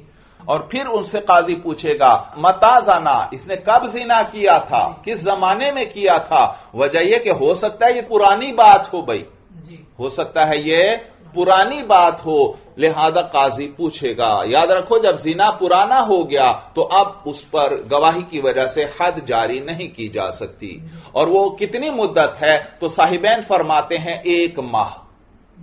अगर गवाह कहते हैं जी ये एक माह पुरानी बात है तो ये तो बात पुरानी हो चुकी। अब हद जारी नहीं की जाएगी। भाई क्यों नहीं हद जारी की जाएगी? कहते हैं वजह यह कि अब इनकी गवाही में शुबा आ गया। इनकी गवाही में शुभ आ गया। किस तरह शुभ आया? कहते हैं भाई एक महीना गुजर गया है और ये आज आकर गवाही दे रहे हैं। मालूम हुआ शुरू में इनका इरादा यह था कि इस पे पर्दा डाल देते हैं किसी को नहीं बताते। शुरू में इनका यह इरादा था। बाद में अब इनकी कोई नई दुश्मनी इस आदमी से बन गई है और अब ये गवाही देने आ गए अगर इनको शरीयत की फ़िक्र थी अल्लाह के अहकाम को नाफिज करने की फ़िक्र थी तो फिर तो उसी वक्त आते भाई। मालूम हुआ किसी नई दुश्मनी ने इनको गवाही देने पर उभारा है। दिलों में यह बदगुमानी आती है। लिहाजा एक महीना गुजर चुका है तो बात पुरानी हो गई। अब हद जारी नहीं की जा सकती। लेकिन याद रखो यह वो सूरत है कि जब गवाह इतनी दूर न रहते हों अगर गवाह इतनी दूर रहते हैं कि वहाँ से आते आते ही महीना लग जाता है तो फिर इस पर गवाही को सुना जाएगा भाई। तो साहिबैन के नज़दीक ये जो पुराना होने का जमाना है ये एक महीना है भाई। और जबकि बाज उलमा फरमाते हैं कि छह माह है भाई। ये मुद्दत कितनी है? छह माह भाई। और फिर काजी पूछेगा मन जाना कि किस औरत के साथ इसने जिना किया था? किस औरत के साथ? जिना किया था। वजह यह कि बाज अवत न गवाहों को पता होता है और न जिसके खिलाफ गवाही दी जा रही है, उसको पता होता है, वहाँ शुबा पाया जाता है। मसन बाप ने अपने बेटे की बांदी से सोहबत कर ली थी। आपने तो हिदाया वगैरह पढ़ी है, आपको तो मसले का पता है, लेकिन हर आदमी को तो इस मसले का पता नहीं। तो एक बाप ने अपने बेटे की बांदी से सोहबत कर ली थी और गवाह उसको पकड़ कर ले आए कि इसने जिना किया है। हालाँकि यहाँ तो शुबा मौजूद है। बेटे के बारे में हजूर सलाम ने एक सहाबी से फरमाया अंतवा व मालू का लि अबी का इसकी वजह से शुबा आ गया भाई। तो लिहाजा काजी ये तमाम सवालात पूछेगा ताकि किसी तरह हद को टाला जा सके भाई। तो कहते हैं, वह ईदा शहीदू, और जब वो गवाह गवाही दें यस अलहमुल इमामू तो काजी उनसे पूछेगा, आनी जिना जिना के बारे में, कि मा हुआ, कि जिना क्या है? वह कैफ हुआ, और जिना कैसे किया जाता है? वह न जना, और इसने कहाँ, जिना किया था। वह मता जाना और इसने कब जीना किया था? वह बिमन जाना और इसने किसके साथ जीना किया था? लिअन नबी सलातु वसलाम मुस्तफसर माइजन अनिल कैफियती व अनिल मजनीयती। इसलिए क्योंकि हुजूर सलाम ने इस्तफसरा माइजन, हुजूर सलाम ने हज़रत माइज रज़ी अल्लाह तहो से पूछा था, भाई हज़रत माइज रज़ी अल्लाह तहो भाई ये सहाबी रसूल हैं। ये हजूर सलाम के पास तशरीफ़ लाए और कहने लगे, या रसूल अल्लाह मुझसे जीना हो गया है। मुझे गुनाह से पाक कर दीजिए। तो हुजूर सलाम ने, हुजूर सलाम ने इनसे रुख फेर लिया और ये चले गए। फिर आ गए और फिर कहा, या रसूल अल्लाह मुझसे जिना हो गया है, मुझे पाक कर दीजिए। हुजूर सलाम ने फिर इनसे रुख फेर लिया। ये फिर चले गए। फिर उसके बाद दोबारा आए और फिर कहा, या रसूल्लाह मुझसे जिना हो गया है, मुझे पाक कर दीजिए। हुजूर सलाम ने फिर रुख फेर लिया, ये चले गए। और चौथी मरतबा फिर ये आए कि, या रसूल मुझसे जिना हो गया है, मुझे पाक कर दीजिए। तो फिर उसके बाद हुजूर सलाम ने उनसे ये बातें पूछी। हुजूर सलाम ने उनसे जिना वगैरह, उसकी कैफियत के बारे में पूछा और किससे जिना किया है यह पूछा। तो ये हज़रत माइज रज़ी अल्लाह तहो और ये शादीशुदा थे भाई। लिहाजा जब चार दफ़ा इकरार कर लिया इन्होंने तो इनका जिना साबित हुआ, और फिर हुजूर सलाम ने इनको रजम करने का हुक्म दिया भाई। रजम करने का तो फिर इनको रजम कर दिया गया। याद रखो, सहाबा से सहाबा से इस तरह की जो गलतियाँ हुई, सहाबा से इस तरह की जो गलतियाँ हुई उसके सिलसिले में हमारे अकाबिर का बड़ा प्यारा मज़हब है। हमारे अकाबिर का मज़हब यह है कि अल्लाह ताला ने तकवीनी तौर पर सहाबा से यह गलतियाँ करवाई। वजह यह कि इस्लाम जो है, एक कामिल दीन है। ज़िंदगी के हर शोबे में इंसान की रहनुमाई करता है। और यह दीन क्यामत तक के आने वाले लोगों के लिए है। तो लिहाजा इसके अंदर जहाँ और चीज़ों की मिसालें मौजूद थी हुजूर सलाम के जमाने में, वहाँ ज़रूरत थी कि सजाओं का निज़ाम भी लोगों के सामने रहे कि इस्लाम में यह सजाएँ हैं और उनको इस तरह नाफिज किया जाता है। चुनाचे तकवीनी तौर पर बाद सहाबा से अल्लाह ने ऐसी गलतियाँ करवाई कि फिर उन पर वो सजा नाफिज करना पड़ी और वो क्यामत तक के लोगों के लिए नमूना बन गया कि इस्लाम के अंदर इस तरह की सजाएँ हैं और उनको इस तरह नाफिज किया जाता है। चुनाचे आप देखिए तो सही, हज़रत माइज रज़ी अल्लाह तला हो भाई ये खुद आ रहे हैं हुजूर के पास कि मुझसे जिना हो गया है, मुझे पाक कर दीजिए। हालाँकि उनको भी पता है, मैं शादीशुदा हूँ, मुझे रजम किया जाएगा। तो किसकी इतनी हिम्मत हो सकती है कि खुद अपने आप को रजम के लिए पेश करे? गुना हो भी जाए, वो अल्लाह से रो रो कर माफिया तलब करता रहेगा। लेकिन ये हुजूर सलाम के तरबियत याफ्ता लोग थे जो खुद अपने आप को बड़ी से बड़ी सजा के लिए भी पेश कर रहे हैं, ताकि अल्लाह उनसे राज़ी हो जाए। तो सहाबा के बारे में हमारे अकाबिर का बड़ा प्यारा मज़हब है कि सहाबा से अगर इस तरह की कोई गलतियाँ भी हुई हैं, वो तकवीनी तौर पर अल्लाह ने करवाई, ताकि इस्लामी सजाएँ अमली तौर पर भी लोगों के सामने आ जाएँ भाई। तो कहते हैं ली नबी सलात वसलाम इसलिए क्योंकि हुजूर सलाम ने इस्तफसारा माइजन, हुजूर सलाम ने हज़रत माइज रज़ी अल्लाह तहों से पूछा, अनिल कैफियती, जिना की कैफियत के बारे में? व अनिल मजनीयती, और वो औरत जिससे जिना किया था उसके बारे में वली अन्नल एहतियात अफीजा लिका वाजिबुन। और इसलिए क्योंकि इस पूछने में एहतियात वाजिब है। इसमें एहतियात वाजिब है। लिअन्ना आसाहू गैर अल फिल फ़र्ज़ अनाहू। यह तर्जमा तवज्जो से समझ लें। लिअन्नहू आसाहू गैर अल फिल फ़र्ज़ अनाहू।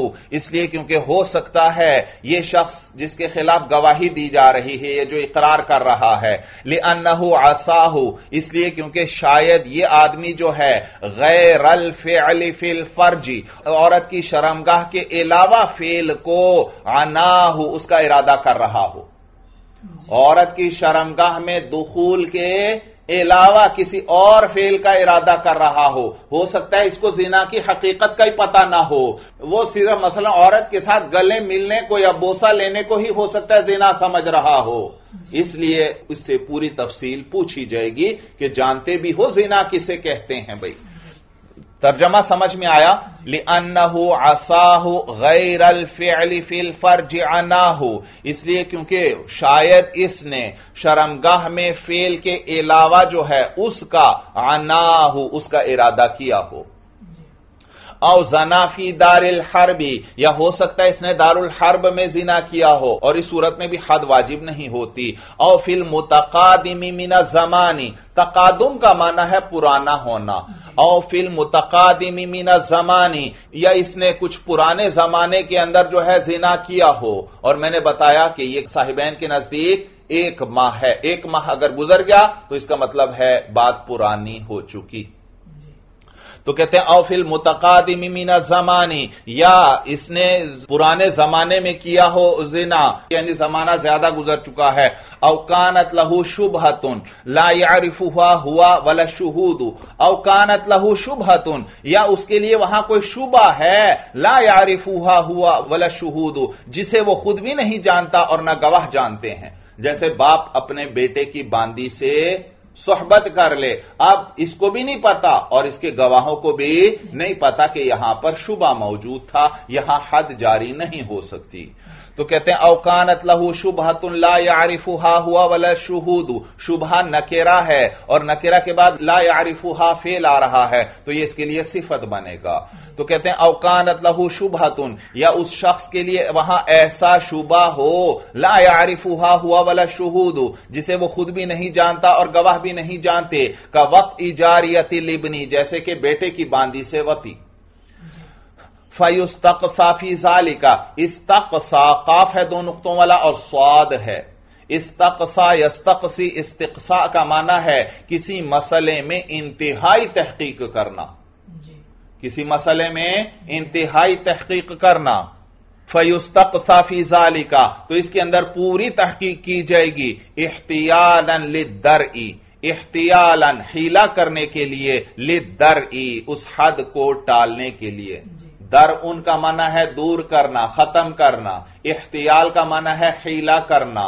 इख्तियाल दर ई उस हद के दूर करने का हीला करने के लिए। कि उस हद के दूर करने का हीला हो जाए किसी तरह भाई। फिर तर्जमा देख लीजिए कहते हैं फयुस्तक साफी जाली कहतियान दर ई तो इसमें पूरी तहकीक की जाएगी उस हद को दूर करने का हीला करते हुए। हद को दूर करने का हीला करते हुए कि किसी तरह हद साकित हो जाए।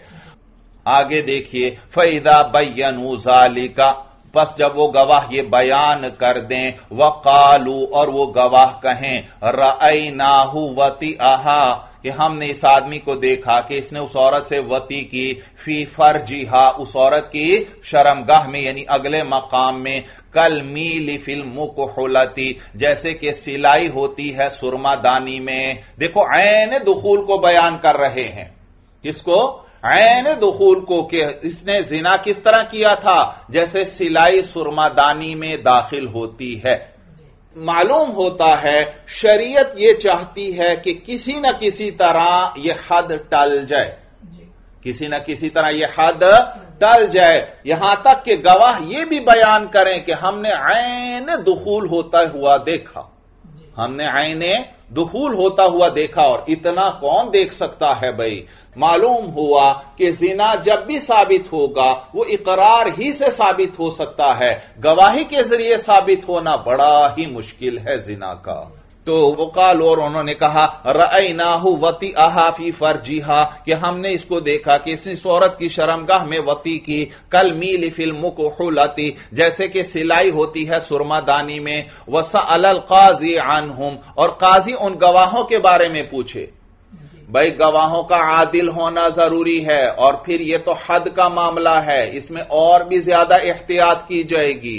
लिहाजा यहाँ पर गवाहों के बारे में काजी पोशीदा तौर पर भी पता करवाएगा कि यह आदिल लोग हैं या नहीं, और जाहिरी तौर पर भी पता करवाएगा कि यह आदिल हैं या नहीं।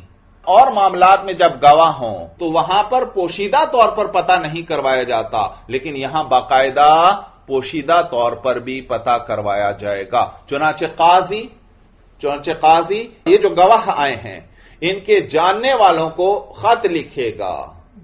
छुपाकर, और जानने वाले भी जो आदिल हैं, जो खुद क्या हैं, आदिल हैं, काबिल एतमाद, नेक लोग हैं, सच्चे लोग हैं, उनको काजी खत लिखेगा कि ये फला आदमी जो फुला का बेटा है, फुला जगह रहता है वगैरह, पूरी निशानियाँ लिख देगा ताकि वो पढ़ने वाला पहचान ले कि किस आदमी की बात हो रही है। तो ये फला आदमी जो है, ये यहाँ जिना के मामले में गवाही देने आया है। आप इसके बारे में क्या जानते हैं? यह आदिल है या आदिल नहीं? अगर यह आदिल है तो नीचे लिख दो, ये आदिल है। और अगर आदिल नहीं है तो कुछ भी ना लिखो, खाली छोड़ दो इस जगह को। या लिख दो कि अल्लाह जानता है। तो चुनाचे इस तरह वो खुफिया तौर पर उन गवाहों का पता करवाएगा कि ये आदिल हैं या आदिल नहीं है भाई।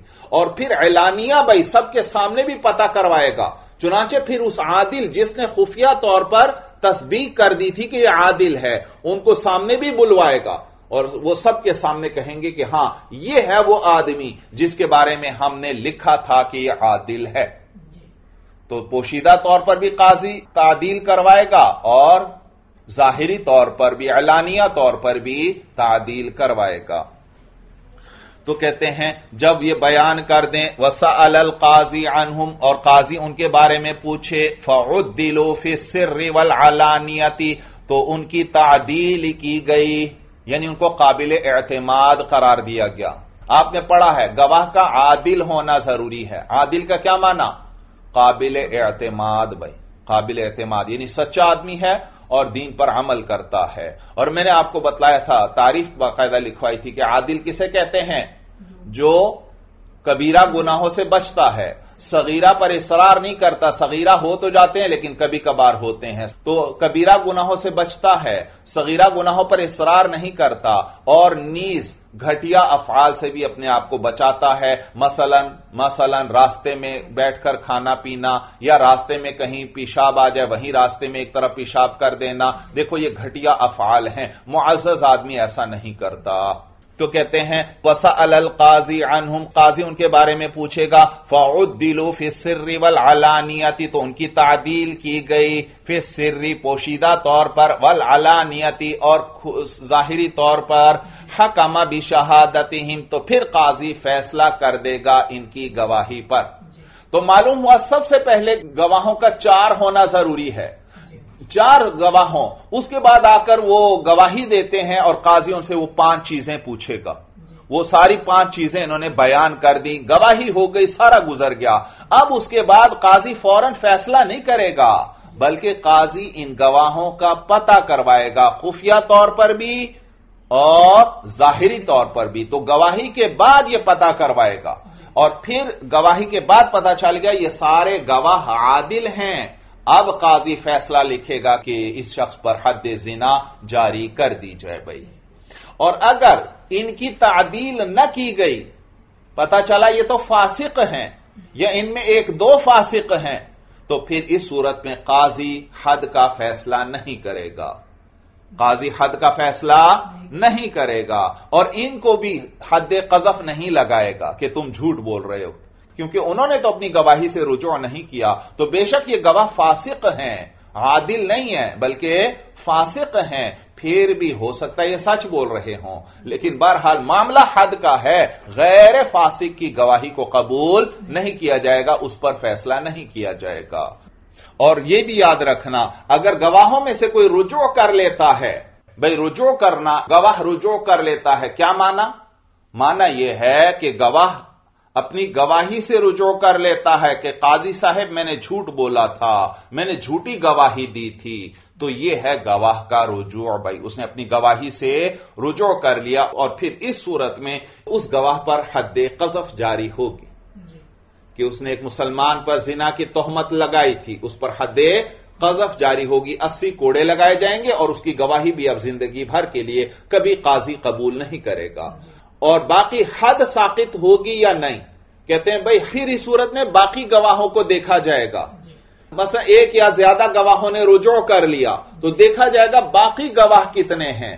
अगर बाकी चार गवाह फिर भी पूरे हो रहे हैं फिर तो हद उसी तरह रहेगी। और अगर गवाह चार से कम हो गए तो फिर बाकी सब पर भी हद कजफ जारी हो जाएगी। बाकी सब पर भी हद कजफ जारी हो जाएगी और वो हद भी साकित हो जाएगी उस मुलजिम पर से भाई। अब फिर तर्जमा देख लीजिए। कहते हैं, वसा अल काजी अनहुम, और काजी उन गवाहों के बारे में पूछेगा फ़ाउद्दिलो फिर सिर रिवल अलानियती तो उन गवाहों की तादील कर दी गई, यानी उन्हें आदिल करार दिया गया फिर सिर पोशीदा तौर पर भी, वल अलानियती, और एलानिया तौर पर भी, हकमा भी शहादत हिम तो काजी उनकी गवाही पर फैसला कर देगा, वलम यक तफी बिजाहिर अदालती फिल हदूदी, और काजी इक्तफा नहीं करेगा, उनकी जाहिरी अदालत पर हदूद में काजी गवाहों की जाहिरी अदालत पर इक्तफा नहीं करेगा। भाई, ये जो गवाह आए हैं, ये मुसलमान हैं, इतना तो सबको पता है। और मुसलमान मुसलमान तो सच ही बोलता है भाई। तो उसका मुसलमान होना यह जाहिरी तौर पर उसकी अदालत को बयान कर रहा है कि आदमी आदिल है। जब एक आदमी मुसलमान है तो ज़ाहिर यही है कि यह सच बोल रहा है। तो यह है जाहिरी अदालत, यानी जाहिरी तौर पर इस आदमी का, इस गवाह का काबिल एतमाद होना। लेकिन इस जाहिरी अदालत पर काजी इक्तफा नहीं करेगा, क्योंकि मसला हदूद का है। लिहाजा पोशीदा तौर पर भी उसकी तादील करवाएगा, और जाहिरी तौर पर भी इसकी तादील करवाएगा। तो कहते हैं वलम यकतफी भी ज़ाहिर अदालती फिल हदूदी और काजी जो है जाहिरी अदालत पर इक्तफा नहीं करेगा हदूद के मसले में एहतियाल दर हद को दूर करने का हीला करते हुए। हद को दूर करने का हीला करते हुए कि किसी तरह हद साकित हो जाए। तो लिहाजा पोशीदा तौर पर भी तादील करवाएगा और जाहिरी तौर पर भी। काला अलहसलात वसलाम हजूर सलाम फरमाते हैं इदरा उल हदूदा मस्ता तुम इदरा उल हदूदा, कि तुम हदूद को टाल दो मस्ता तुम जिस कदर तुम में इस्तात हो। तुम लोग हदूद को टाल दिया करो जिस कदर तुम में इस्तात हो तो इसीलिए ये इतने सवालात भी काजी करेगा और गवाहों का पोशीदा और जाहिरी तौर पर भी पता करवाएगा ताकि किसी तरह हद को साकित कर दिया जाए। तो कहते हैं काला सलात वसलाम हजूर सलाम फरमाते हैं इधर उल हदूद मस्ता तुम के तुम हदूद को टाल दिया करो जिस कदर तुम में इस्तात हो बेखिलाफ हिस्सा इरिल हकूकी बखिलाफ बाकी हकूक के। बखिला बाकी हकूक के, कि वहाँ पर गवाहों की जाहरी अदालत पर ही इतफा कर लिया जाएगा कि यह मुसलमान है तो सच ही बोल रहा होगा।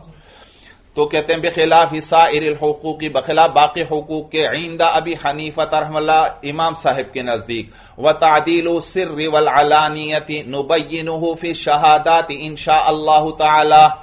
साहिब हिदाया फरमाते हैं कि पोशीदा तौर पर और जाहरी तौर पर तादील जो है, इसको हम किताब शहादात में बयान करेंगे इंशा तो साहिब हिदाया फरमा रहे हैं कि किताब शहादात के अंदर हम बयान करेंगे कि सिरन और अलानियतन तादील कैसे की जाती है भाई।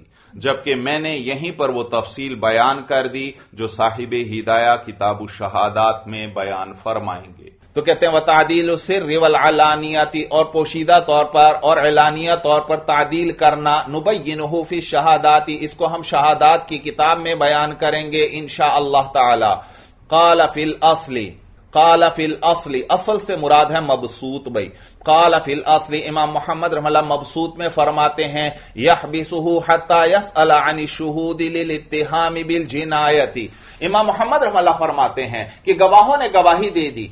अब काजी ने गवाहों की तादील करवानी है खुफिया तौर पर भी और एलानिया भी। तो इसमें कुछ वक्त लगेगा। तो जब तक इस मुलजिम को काजी जेल में रखे कि कहीं ये भाग ना जाए। इस मुलजिम को काजी जेल में रखे वो एक दिन या दो दिन लगते हैं इसके पता करवाने में जब तक इसको जेल में रखे। क्योंकि हुजूर सलाम ने भी एक आदमी को कैद में रखा था। एक आदमी उस पर उस पर ऊंटों की चोरी की तोहमत लगाई गई।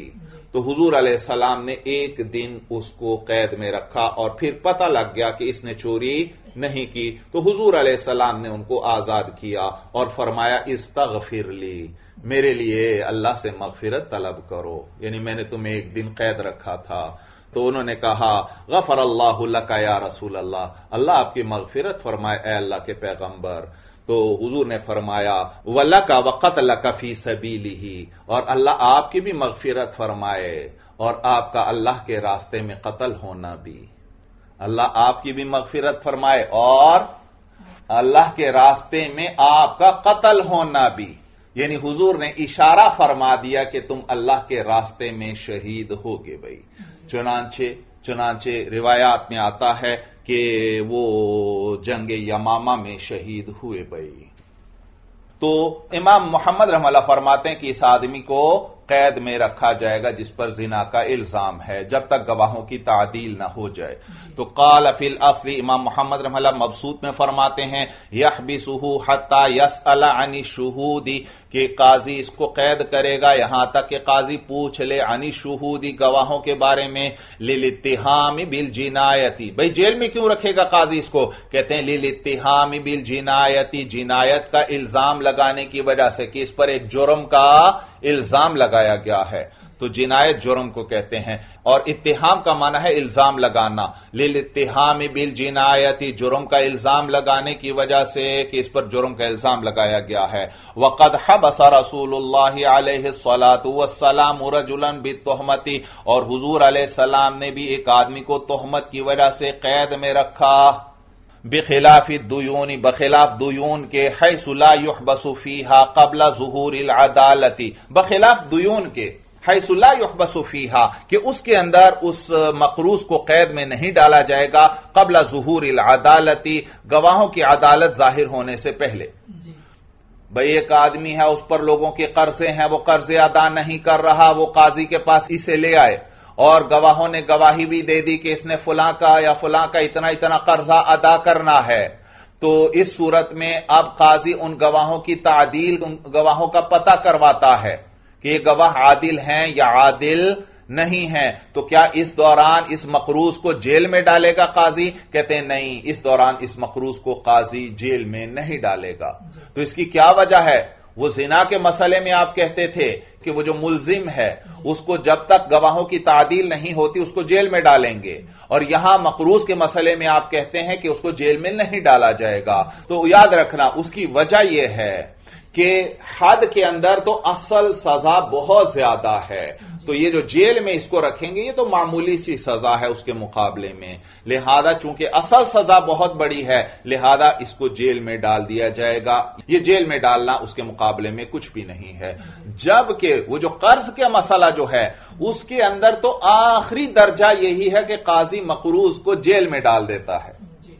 तो वहाँ तो इंतहाई सजा जो है वह जेल में डालना है। तो गवाहों की तादील के दौरान काजी यह इंतहा दर्जे की सजा अभी से उसको नहीं देगा भाई।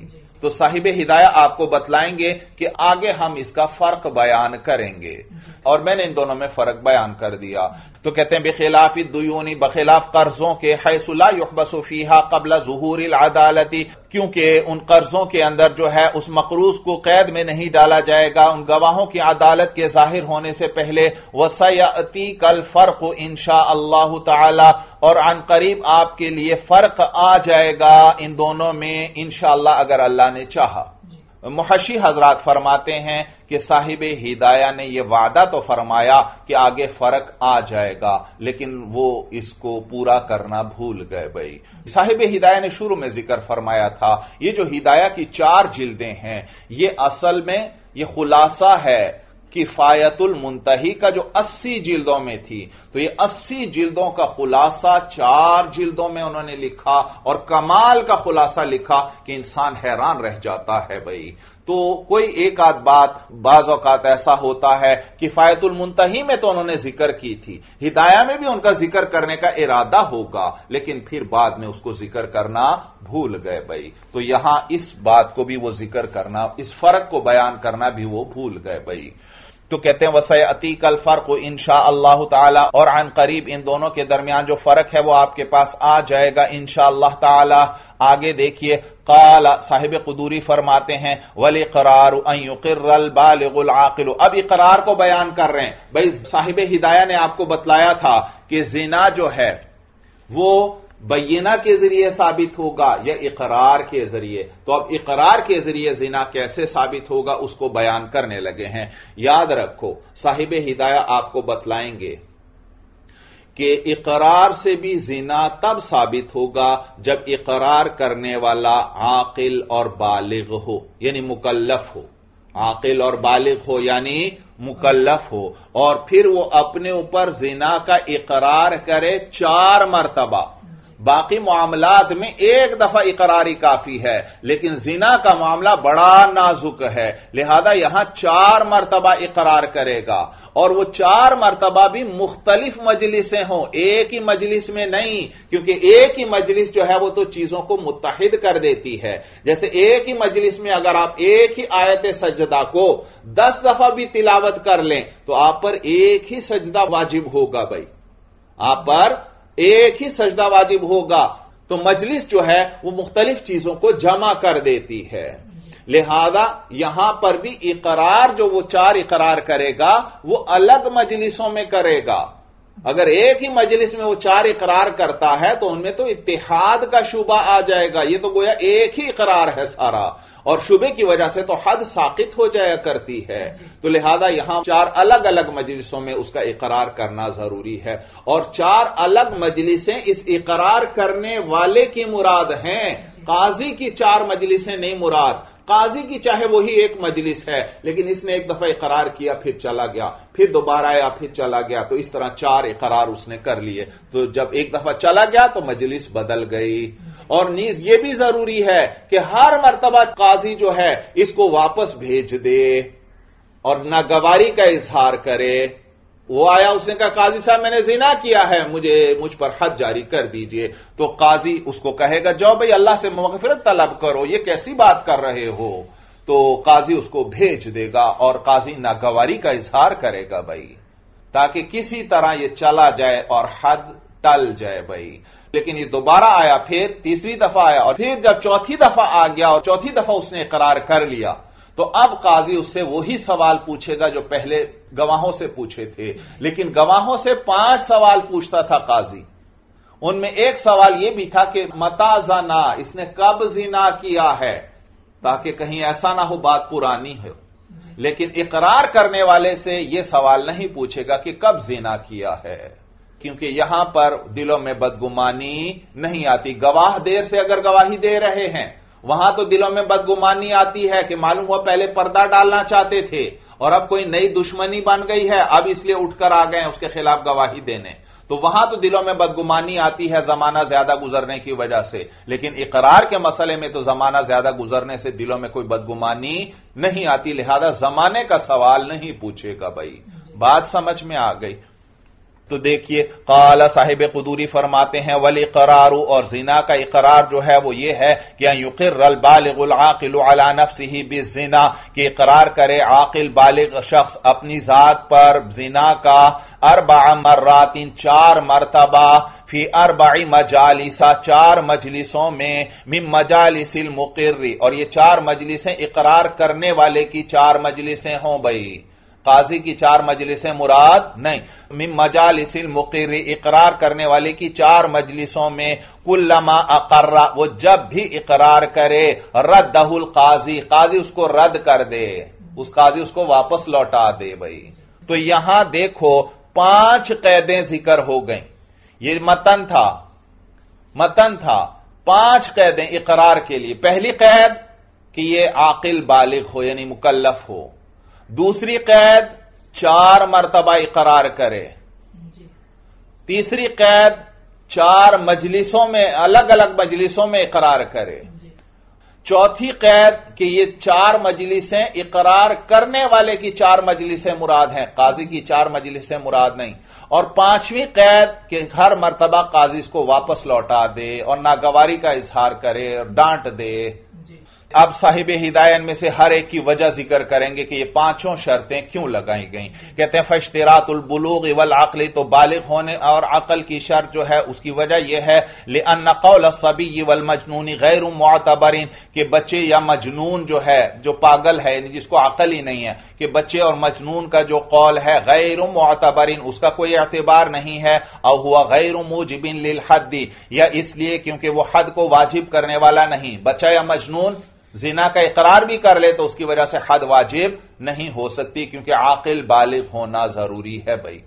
तो कहते हैं हुआ गैर मोजिबिन लिल हद्दी या इस वजह से कि बच्चे और मजनून का जो कौल है वो हद को वाजिब करने वाला नहीं। वश्तरातुल अरबाई मजहबुना, और चार इकरार की जो शर्त है, मजहबुना यह हमारा मज़हब है। इंदल अहनाफ चार दफ़ा इकरार ज़रूरी है, जबकि इमाम शाफी रहमल्ला फरमाते हैं कि नहीं, एक ही दफ़ा इकरार काफ़ी है। एक ही दफ़ा इकरार काफ़ी है भाई। तो कहते हैं, वशतरातुल अरबाई मजहबुना, और चार इकरारों की शर्त लगाना यह हमारा मज़हब है। वाइंदा शाफी रहमल्लायुक्तफा बिल इकरार मर्रतम वाहिदतान। और इमाम शाफी रहमल्ला फरमाते हैं कि एक ही मरतबा के इकरार पर इक्तफा कर लिया जाएगा एतबारम बिसाइर हकूकी, बाकी हकूक पर कयास करते हुए। बाकी हुकूक में एक ही दफ़ा इकरार काफ़ी होता है। एक आदमी कहता है मैंने जैद के दस लाख रुपए देने हैं। बस एक ही इकरार काफ़ी है। लेकिन यहाँ पर चार अलग इकरार होने चाहिए। तो इमाम शाफी रहमल्ला इस जिना के इकरार को कियास करते हैं बाकी हुकूक के इकरार पर। और वहाँ एक इकरार काफ़ी तो यहाँ भी एक इकरार काफ़ी है।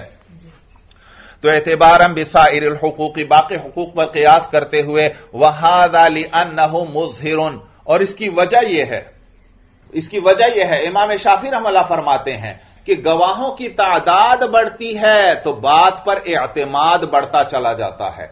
एक आदमी गवाही दे तो बात पर इतना एतमाद नहीं। दो ने गवाही दी तो काफ़ी एतमाद हो गया। तीन ने दी तो एतमाद और बढ़ गया। चार ने गवाही दे दी और ज़्यादा दिल को इतमान हो गया कि बात ऐसी ही है। तवज्जो है तो गवाही में जो जो इजाफा होता चला जाता है उस बात पर इतमान कलबी बढ़ता चला जाता है। जबकि इकरार के अंदर ऐसा नहीं है। एक आदमी एक दफ़ा है कहे मैंने यह काम किया है। चाहे सौ दफ़ा कहे बात तो एक ही है। इकरार की वजह से कोई कलबी इतमान बढ़ता नहीं जितनी दफ़ा भी इकरार हो जाए। तो इसलिए वो फरमाते हैं एक ही इकरार काफ़ी है। तो कहते हैं, वहादा, और ये इस वजह से ले लिअन मुजहिर क्योंकि जो इकरार है, ये ज़ाहिर करने वाला है। ये उस फेल को ज़ाहिर करने वाला है। वह तकरार उल इकरारी लायुफीद ज्यादाता जहूरी। और इकरार का जो तकरार है यह ज़्यादा ज़ाहिर होने का फ़ायदा नहीं देता। इससे कोई बात ज़्यादा ज़ाहिर नहीं होती। बेखिलाफ ज्यादतिल आदद फ़ी शहादती। बखिलाफ गवाही के अंदर आदद की ज्यादती। कि उसके अंदर ज़्यादा जहूर होता चला जाता है, दिल को ज़्यादा इतमान होता चला जाता है भाई। वलाना अब हमारी दलील आ गई कि चार इकरार ज़रूरी हैं। वलना और हमारी दलील जो है हदीस माइजिन रज़ी अल्लाह तहो वह हज़रत माइज रज़ी अल्लाह तहो की हदीस है इन सलात वसलाम अखर इकामता क्योंकि हजूर सलाम ने हद कायम करने को मुखर फरमा दिया इला अंतमल इकरार मिन अरबा मर्रातिन यहाँ तक कि उसकी तरफ़ से इकरार पूरा हो गया चार मरतबा फ़ी अरबाई मजालिसा चार मजलिसों में हजूर सलाम ने उसके एक दफ़ा के करार पर हद का हुक्म जारी नहीं फरमाया, बल्कि हुजूर ने हद को मुअखर फरमाया। यहाँ तक कि उसने चार अलग अलग मजलिसों में चार दफ़ा इकरार कर लिया।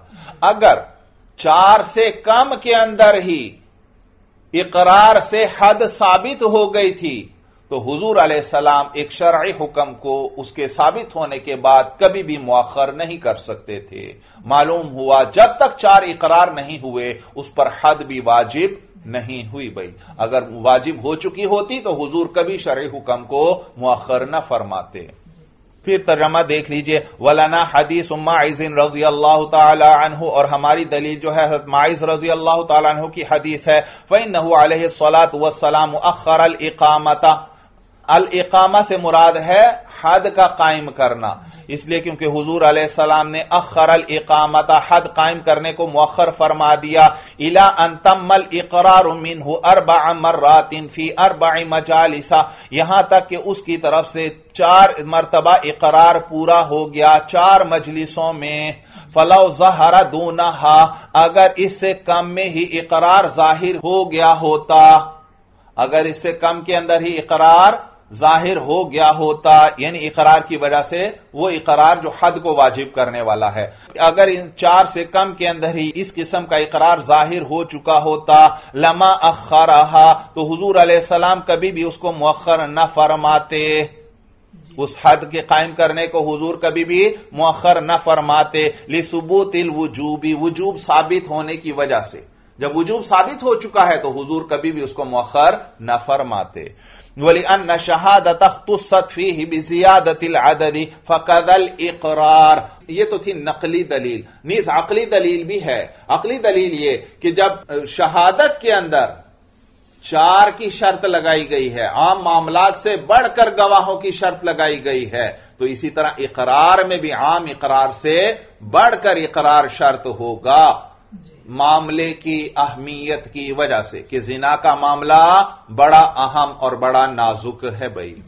तो यह माना है वली अन्न शहाद तख्तुसतफी ही बिजियादतिल आददी और नीज इसलिए क्योंकि जिना के मामले में शहादत खास है, आदद की ज्यादती के साथ, यानी चार गवाह हैं फकदल इकरारू तो इसी तरह इकरार भी होगा एजामन अमर जिना। जिना के मामले के अहम होने की वजह से यूँ तर्जमा कर लें। एजामन अमर जिना। जिना के मामले के संगीन होने की वजह से वह तहकीकन लिमान सतरी। और छुपाने के माना को साबित करने के लिए चार गवाह होंगे।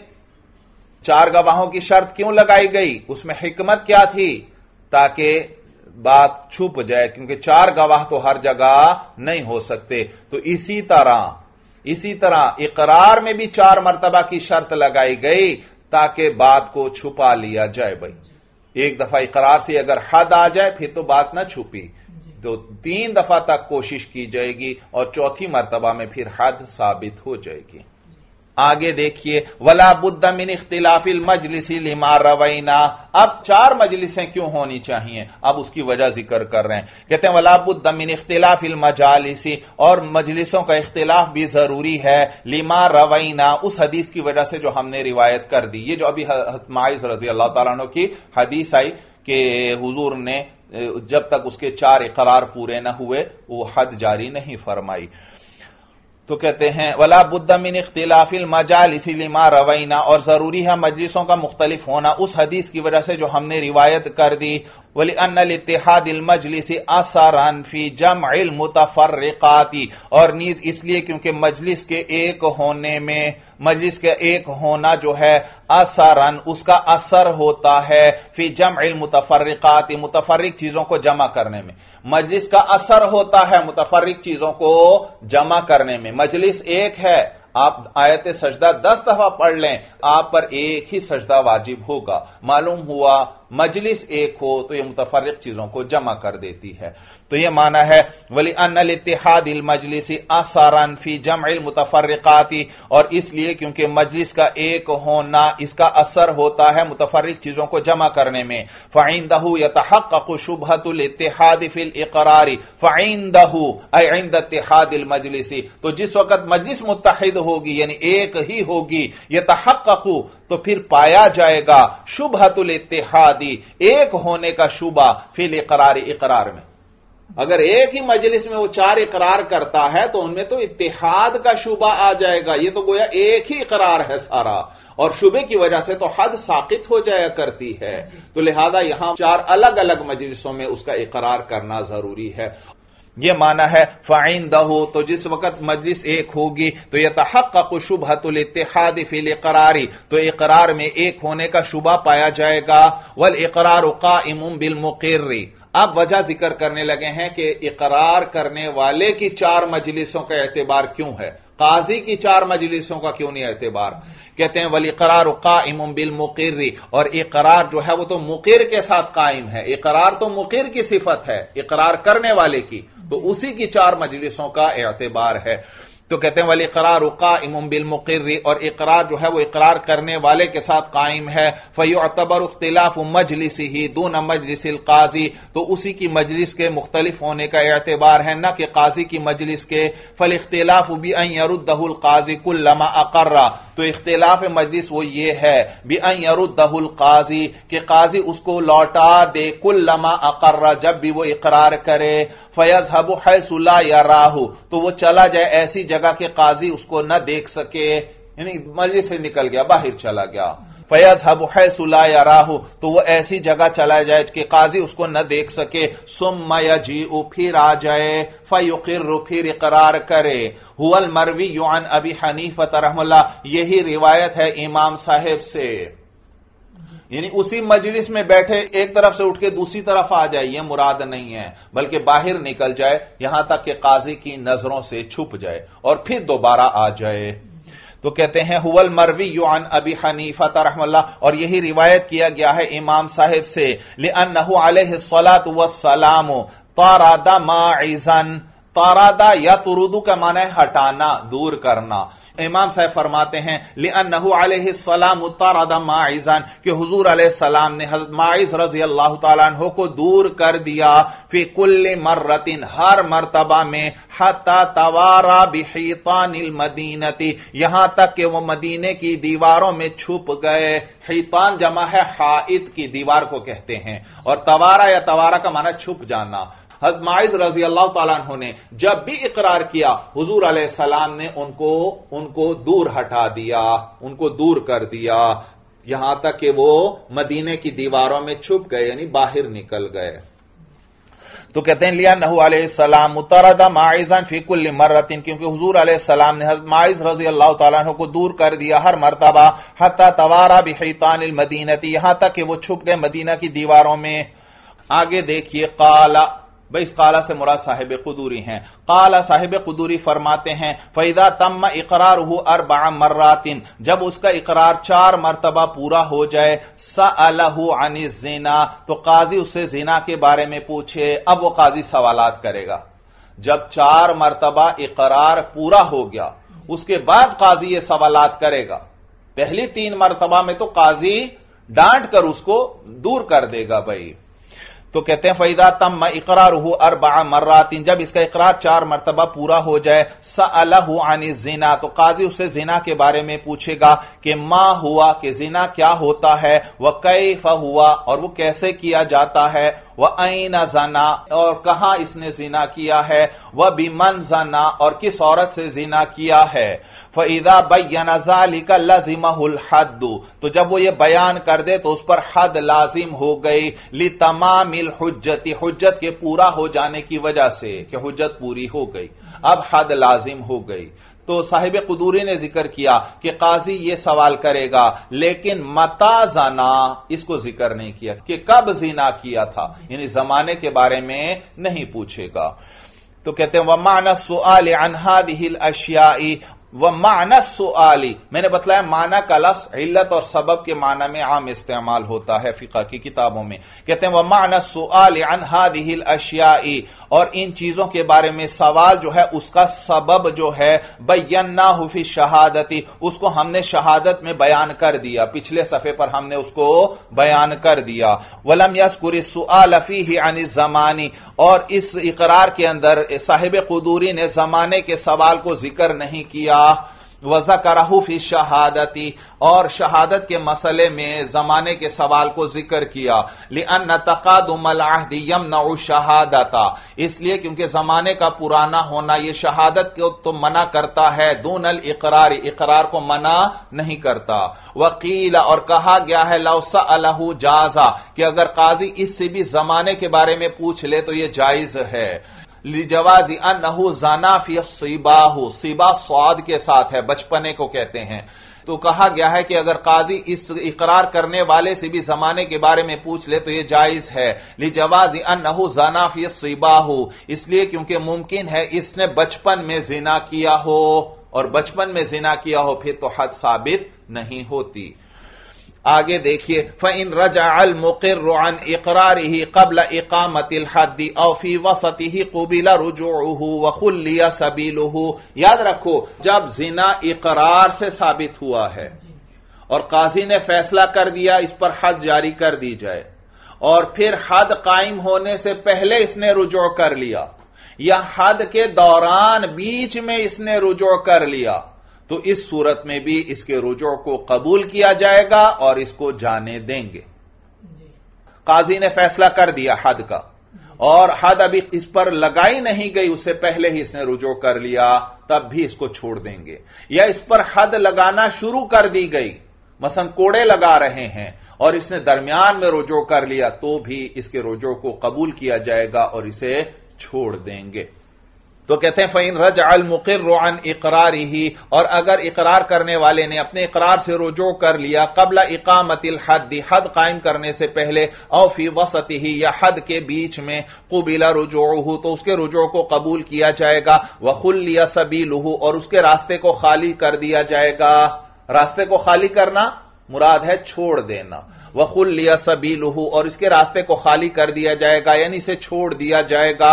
वकाल शाफी रहमहुल्ला और इमाम शाफी रहमल्ला फरमाते हैं वह बनी अबी लैला, और यही कौल है इबन अबी लैला का।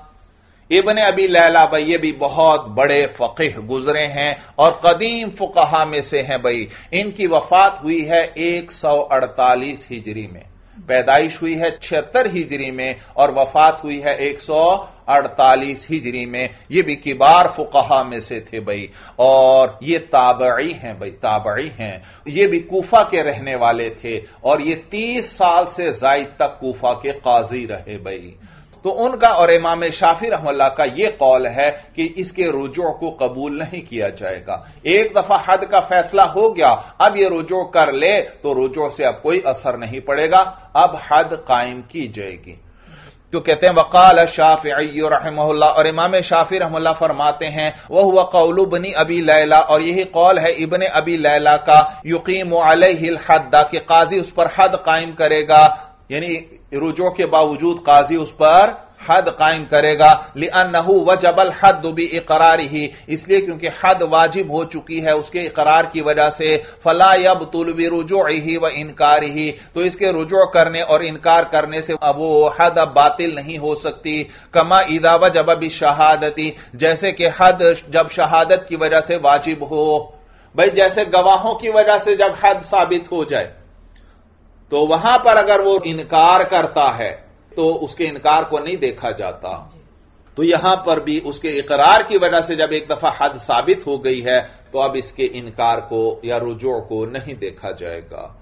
तो कहते हैं, कमा ईदा व जब अभी शहादती, जैसे कि हद जब गवाही की वजह से साबित हो जाए तो इसके इनकार को नहीं देखा जाता। वसार कल किसास व हद दिल कजफी, और यह किसास और हद कजफ की तरफ़ हो गया। याद रखो किसास अगर इकरार से साबित हुआ है। एक आदमी ने इकरार कर लिया कि मैंने जैद को कत्ल किया था और काजी ने किसास का हुक्म दे दिया। अब बाद में यह कातिल इनकार करता है, रुजो करता है तो इस सूरत में इस कातिल के इनकार को नहीं देखा जाएगा। या इसी तरह किसी पर हद कजब साबित हो गई। किसी ने इकरार किया कि मैंने फुला पर जिना की तोहमत लगाई थी और उस पर हद कजब साबित हो गई भाई। काजी ने फैसला कर दिया, अब बाद में यह रुजू कर लेता है तो यहाँ इसके रुजू की तरफ़ नहीं देखा जाएगा, बल्कि इस पर हद कजफ जारी की जाएगी। तो मालूम हुआ कि सास और हद कजफ ये इकरार से साबित हो जाए, और ये बाद में रुजू भी कर ले तो इसके रुजू और इनकार को नहीं देखा जाता।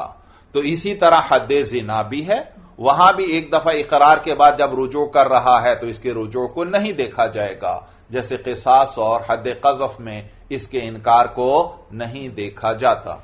तो कहते हैं वह सारा कल किसासी वह हद दिल कजफी और यह हद जिना जो है, किसास की तरह और हद कजफ की तरह हो गई।